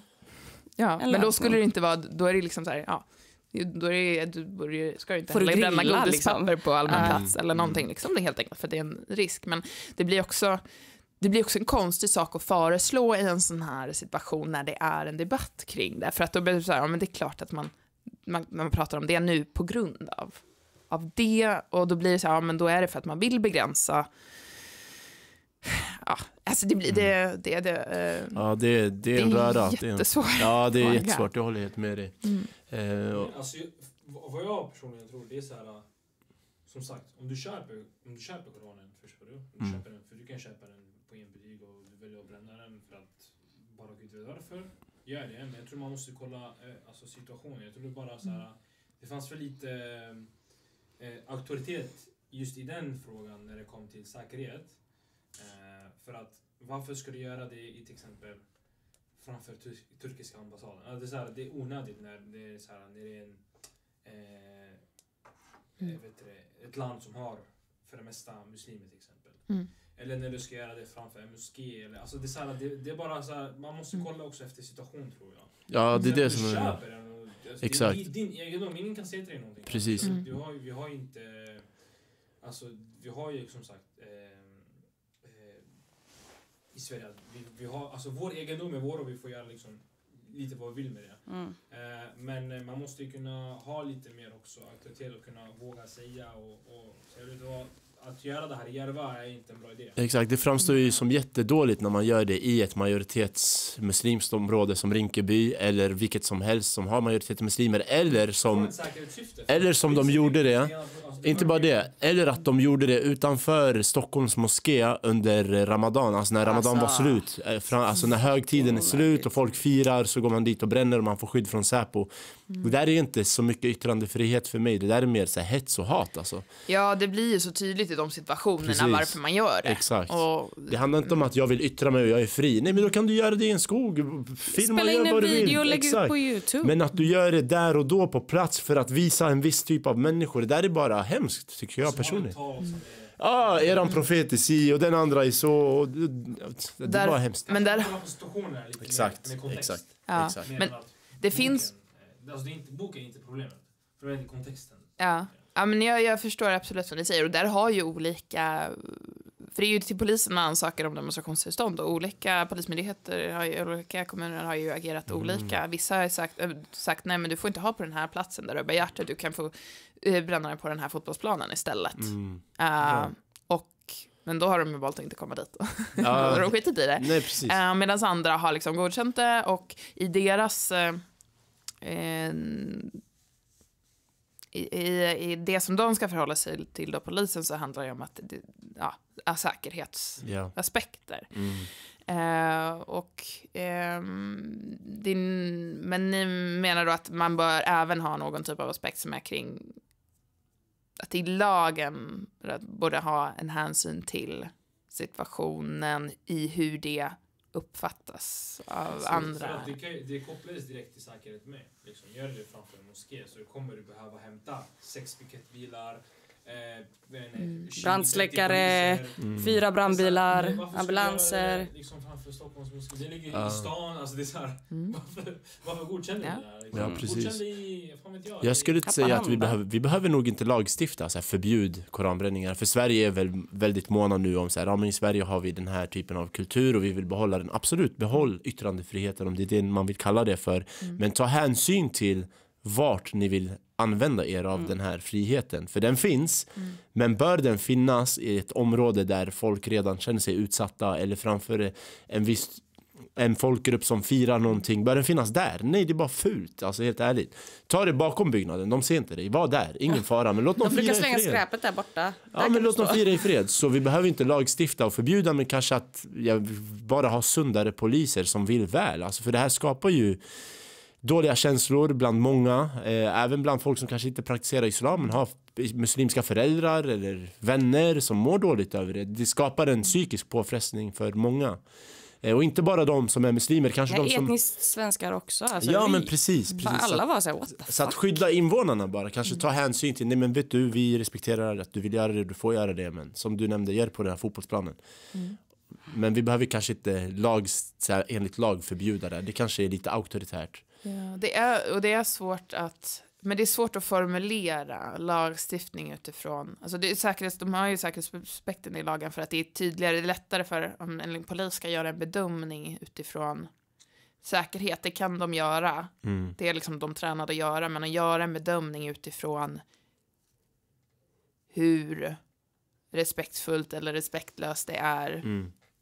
I den situationen. Det är svårare att lägga det liksom, ansvaret på en polis att göra den bedömningen.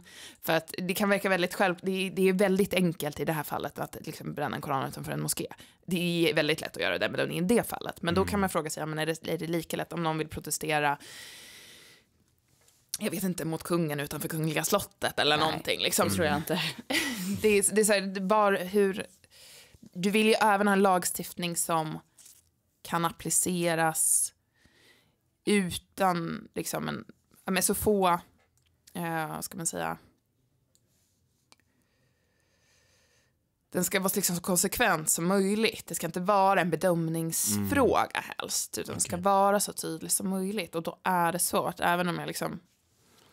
Ja, Jag fattar, så det ska inte vara så här subjektivt för en poliskår att så här, nej men vi bedömer enligt våran uppfattning att det här är fel, utan det ska, jag fattar vad du menar. Men jag håller helt men jag, jag tycker verkligen att polisen hade i vissa fall kunnat göra andra bedömningar utifrån säkerhetsaspekten. Definitivt. Okej, Men eh, hur, okej, men om vi skiftar lite. ja vi Eh, byter ämne. vi går vidare. Hur, eh, hur har det gått då med EU, alltså med EU, du är kan, kan, vad- kandiderar? Ja, kandidat. Ja, kandidat. Mm. Eh, hur, vad, vad är det som har funkat för er? Alltså vilken, vad är det som folk har gillat? Vad, vad är det ni har, vilka poäng har ni pushat på mest? Alltså vad har varit liksom era, era moves hittills? Jag skulle säga att vi har ju pratat mest om övervakningsfrågorna, framförallt för att vissa av dem, ehm, just chat control och de här sakerna som pågår på EU-nivå just nu. Sen har ju de en lite, så här, lite mer begränsad eh, publik, så att säga. Det är inte alla som är insatta, det är inte alla som bryr sig. Men eh, där vi i den Eftersom EU-valet är ju ett sånt här val där liksom, majoriteten av befolkningen, de börjar kanske inte läsa på eller bry sig för de så här sista veckorna innan. Så att eh, för oss har det väl varit nu väldigt mycket mer att, att eh, eh, initialt, liksom i en tidigare fas, så får vi fokusera på hur kan vi eh, skapa bra, jag menar, allt från så här, skapa bra relationer med press, se till att vi skapar en profil inom vissa områden, att vi får förtroende inom vissa områden. Ehm, för det gör också att det kan möjliggöra att man blir inbjuden i olika sammanhang och faktiskt kan nå fler i ett senare skede. Så vi har fokuserat mer så i vår kommunikation än på att liksom nå allmänheten med kanske sådana mer, som vi pratade om innan, greppbara frågor Mm. som man bryr sig om. Som, Ja. som liksom Använder ni typ TikTok, eh, Snapchat, Instagram? Alltså är ni... För det är väl typ det bästa stället att nå ut till folk nowadays. Eh, ja, vi, vi använder ju vi använder sociala medier överlag. Uh, Snap, eller vet du, Snapchat tror jag inte vi använder. Ehm, TikTok har ju varit en sån här fråga. så ska vi använda det eller inte? För att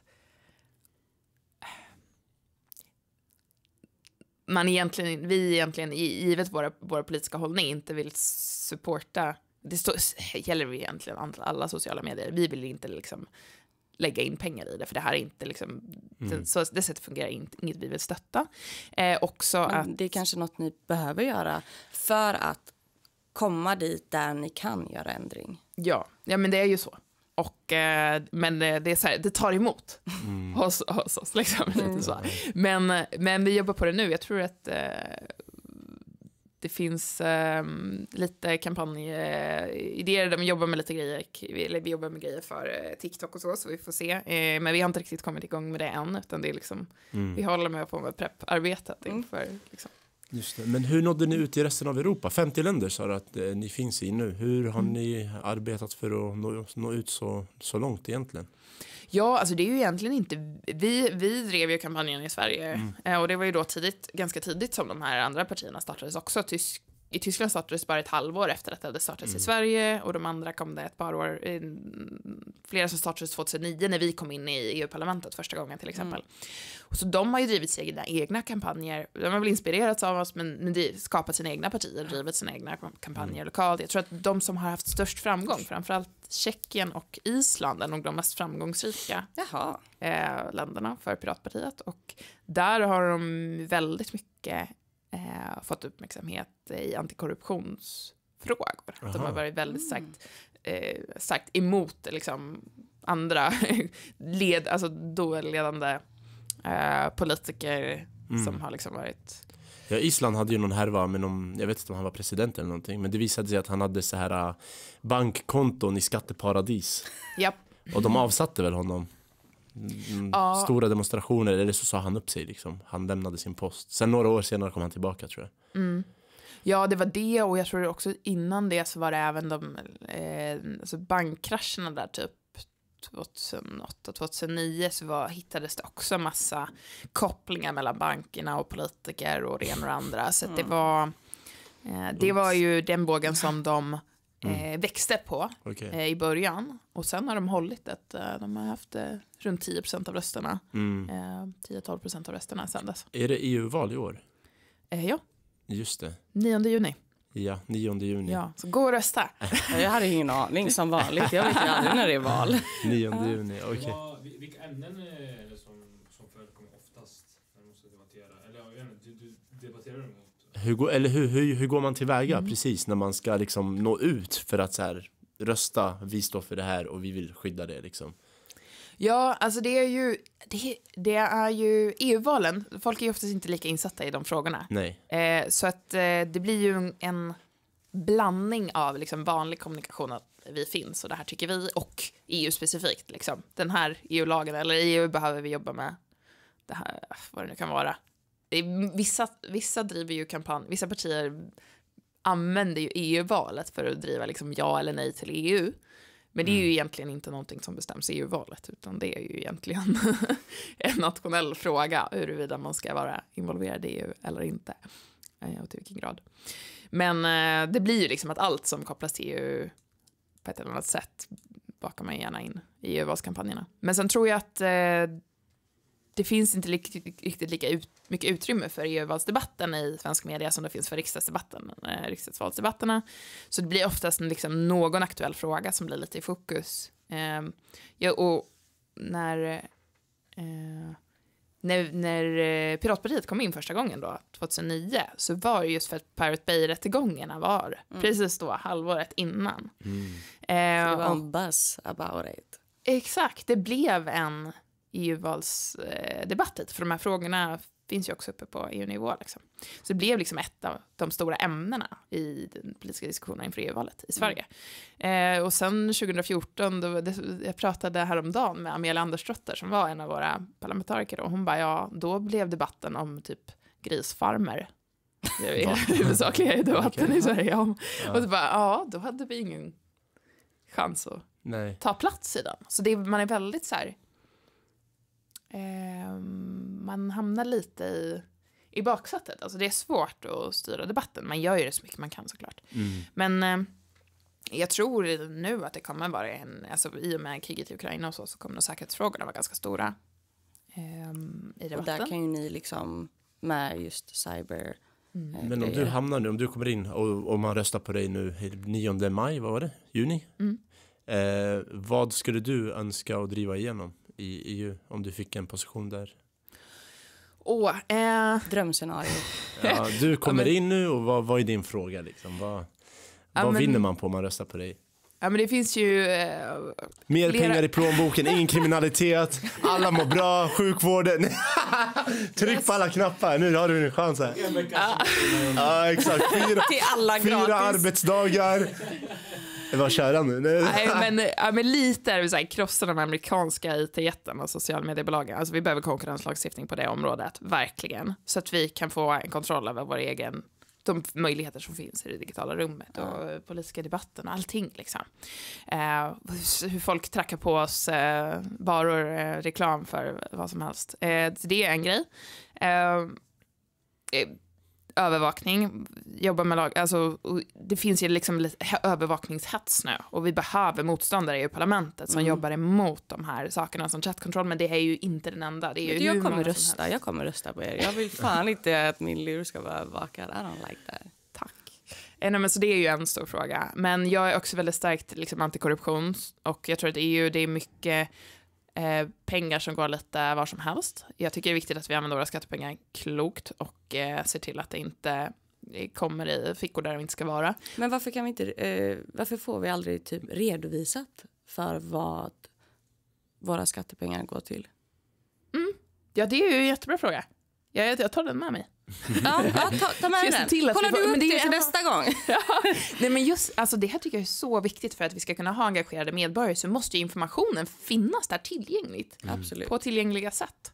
Och, eh, och nej men så, sånt, alltså tydlig transparensredovisning av var pengar går, det är ju typ, typiskt en sån sak som, som jag gärna jobbar för.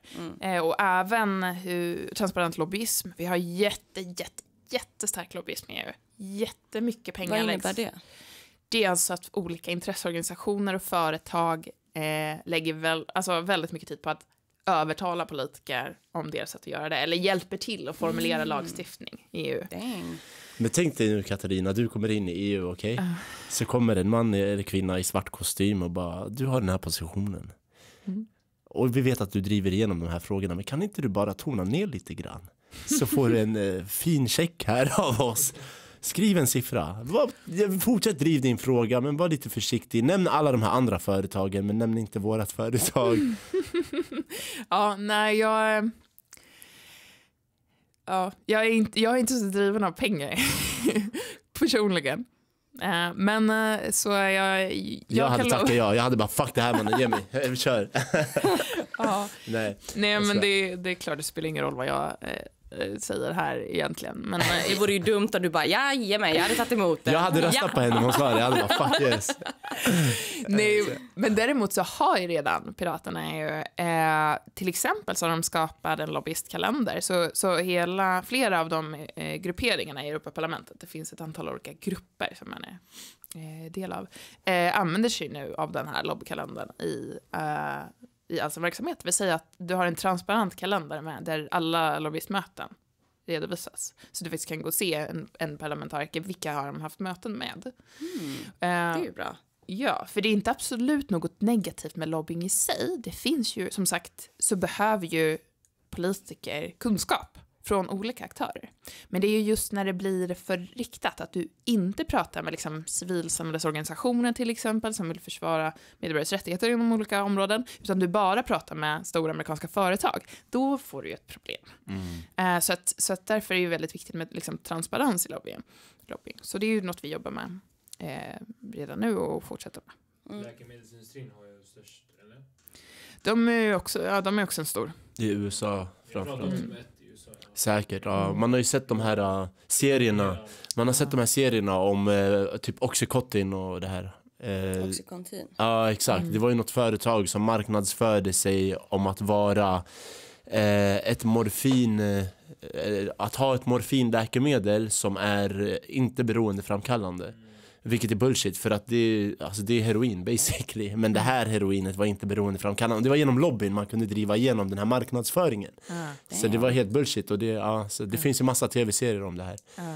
Ja, men det finns, alltså, läkemedelsbranschen är en sån, oljebranschen har ju traditionellt varit en sån, tobaksbranschen traditionellt Vapen varit en sån. Vapen, Ja. säkert. Och också IT, eftersom mycket digital lagstiftning är ju, eftersom att internet är globalt så blir det ju så att det är mycket digital lagstiftning, så det är mycket IT-jättar också. Eh, men det är, eh, det är, det är en blandad Jag kom på en grej nu Mm. som jag ville prata om förra gången när vi hade Linus, advokaten. Mm. Men som vi inte kunde, alltså han hade inte så mycket inblick i det. Hur blir, alltså, vad händer med eh, digitaliseringen av eh, kronan och euron då i det här fallet? Alltså hur står ni inför det? Vad, för det där verkar ju gå mot, alltså, att det kommer bli av. Liksom. Alltså kan ni förklara för bonden, Loa Ja, fucking så, Ek? Jag fattar ingenting. Ehm, eh, central Bank... Eh, DB, no, digital Ja, currency. C- CDBS, nej, jag Ja. minns inte vad det var. Jag minns Mm. inte i alla fall. Men det, är digital, de, det sägs att man vill inför 20, eh, 2030? Ja, något sånt. Jag vet Ja. inte. Att det, Digitalisera eh, våra valutor. Så att eh, man ska kunna... alltså din lön kommer i en så här programmerad kod typ. Och den här koden kan då, så här, man bestämmer, du får endast köpa ett kilo kött. Ett kilo kött i månaden. För sen kommer den här programmeringen inte låta dig. Typ att det finns de här riskerna med det. Nej men så här. Nu är det väldigt långsökt, men det finns de riskerna. Alltså, pengar är redan alltså, digitaliserat. Ja. Det, är- det är inte så att det, de inte... Alltså, De, de är inte fysiska på det Ja, sättet nej, längre. exakt. Nej. Så det, det, det är en grej. Men man ska kunna liksom, alltså, typ spåra dina pengar på något sätt. Men jag Mm. skulle säga så här, i, i dagsläget är det ju så att fysiska pengar ges ut av staten, Mm. alltså sedlar och, och mynt, eh, medan digitala pengar ges ut av bankerna. Mm. Och eh, det leder ju till att eh, staten har mindre och mindre kontroll över pengaflödet och makterna, med bankerna har mer och mer kontroll över pengaflödet i samhället. Så det, det, en av sakerna är väl att man vill kunna ge ut en, att staten vill också kunna ge ut en digital.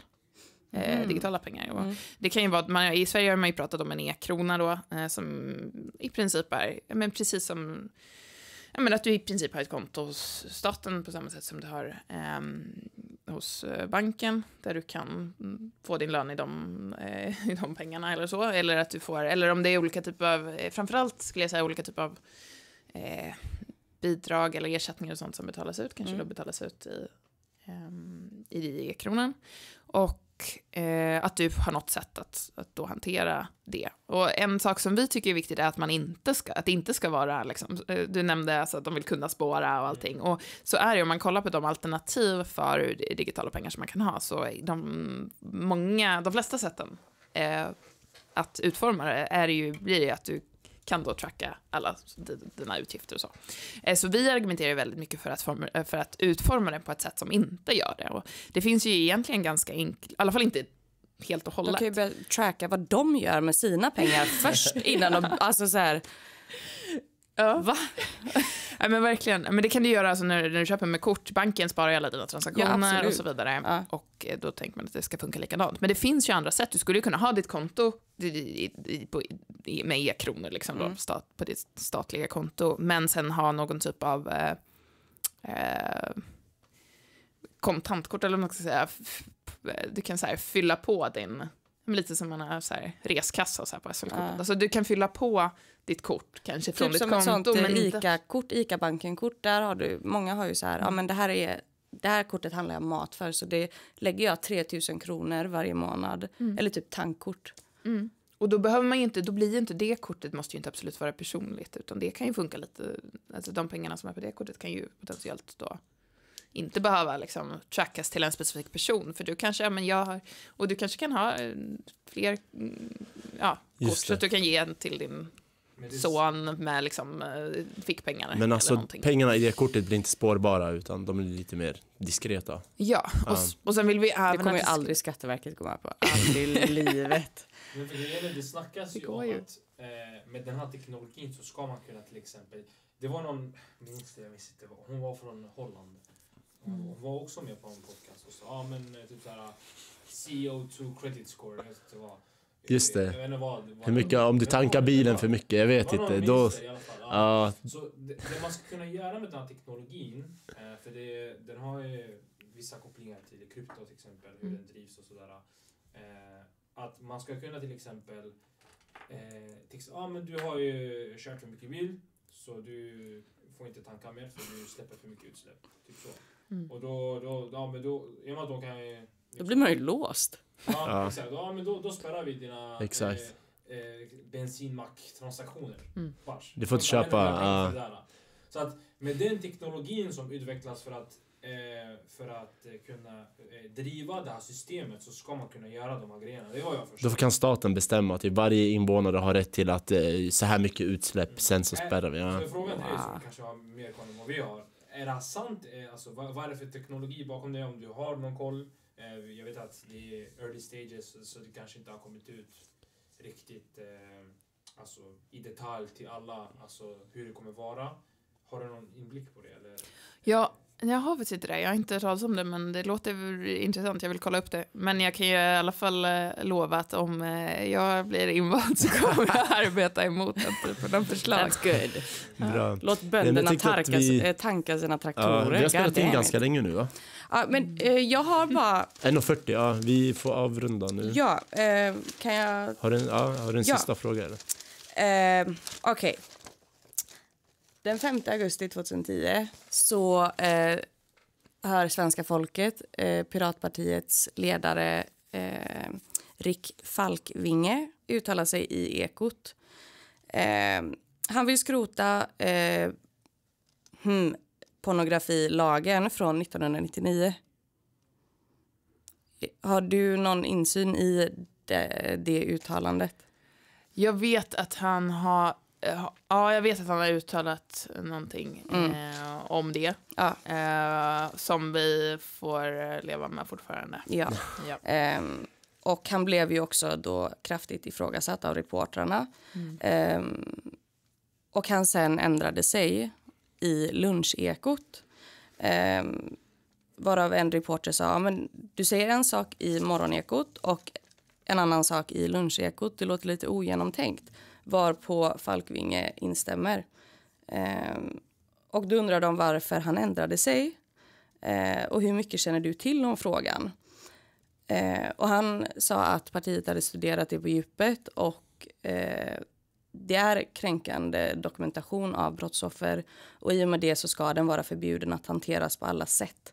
Eh, Rick passar på att ge en känga till politiska ledarna för hans partis rivaler. Eh, vi, vi är något så ovanligt som politiker som kan ändra oss när vi inser att vi gör fel. Vad, hur, hur ska ni göra för att eh, det var då, det här är nu? Alltså så här,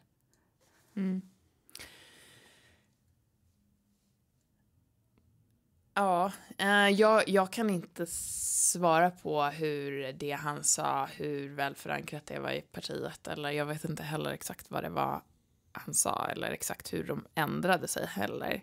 Eh, det jag kan säga är ju att det är ju väldigt få personer kvar i partiet som var med i partiet då. Mm. Det har ju bytts ut eh, väldigt mycket. Mm. Och, eh, ehm, ja, det, så, så det är ju jag, jag får ju åt, om och om igen ska jag säga, eh, höra den här saken. Ehm, och det är väl bara något vi får leva med, men vi, vi är ju, även om vi har samma grund så är vi också, vi är ju ett annat parti idag, andra Mm. människor. är andra Eh, tider. andra tider, annan eh, sakpolitik också. Jag tror faktiskt efter 2016 så rev vi upp all gammal sakpolitik och sen dess har vi liksom börjat om från Mm. noll också. Vilket Där kanske fler, förankring. parti, eh, och, alltså fler partier borde la. Kanske också riva upp lite och så här. Så nu grabbar behöver vi kolla över det här. Vad är det vi egentligen säger? Ja. ja men verkligen, för det var ju en sån sak att det, hade blivit ganska splittrat för partiet kom ju ur ganska specifika frågor men sen så, så vill man ju liksom bredda sig och det kommer folk in i partiet som är överens om de där frågorna som man startade ur men inte om andra frågor och det hade blivit väldigt, eh, väldigt liksom så här splittrad politik som inte hade någon röd tråd. Ehm, och det ledde också till liksom konflikter och otydlighet och så. Så det, det var därför vi bara skrotade allt och började om. Eh, vi uppdaterade vårt principprogram som är vår grunden för vår politik. Och utifrån det så har vi liksom utvecklat ny sakpolitik mm, där det ska finnas tydlig koppling i allting till, till principprogrammet. För det är i princip vår ideologi. Så att det är ju, det, vi behöver liksom knyta an till den i allt vi gör och allt vi säger. Och det är ju de värderingarna som jag pratade om tidigare med frihet, värdighet och deltagande. Och där är liksom kärnan eh, för vad vi jobbar för, oavsett fråga. Mm. Super. Yes, men vi, ja, hur känns det?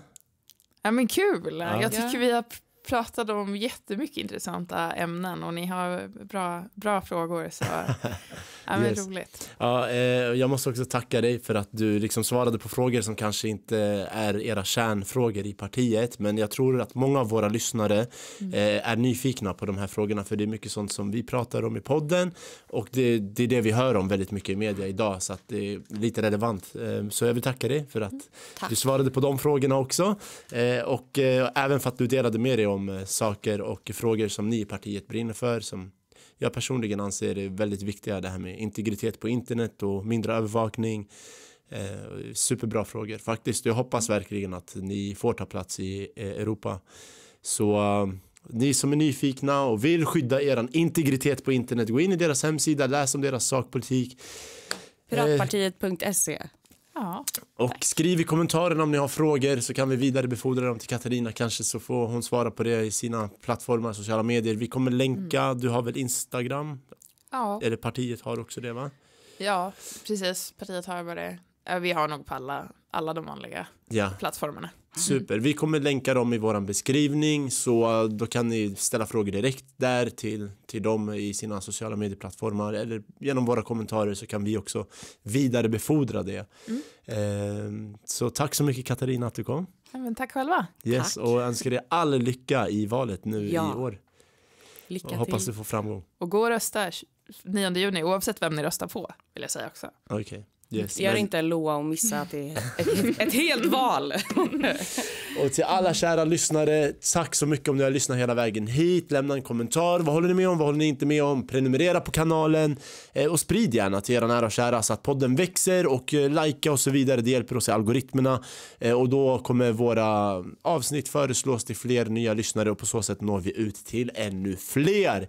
Så hur som helst så vill jag önska er en fortsatt trevlig dag så hörs vi om en vecka eller några dagar. Ciao! Peace!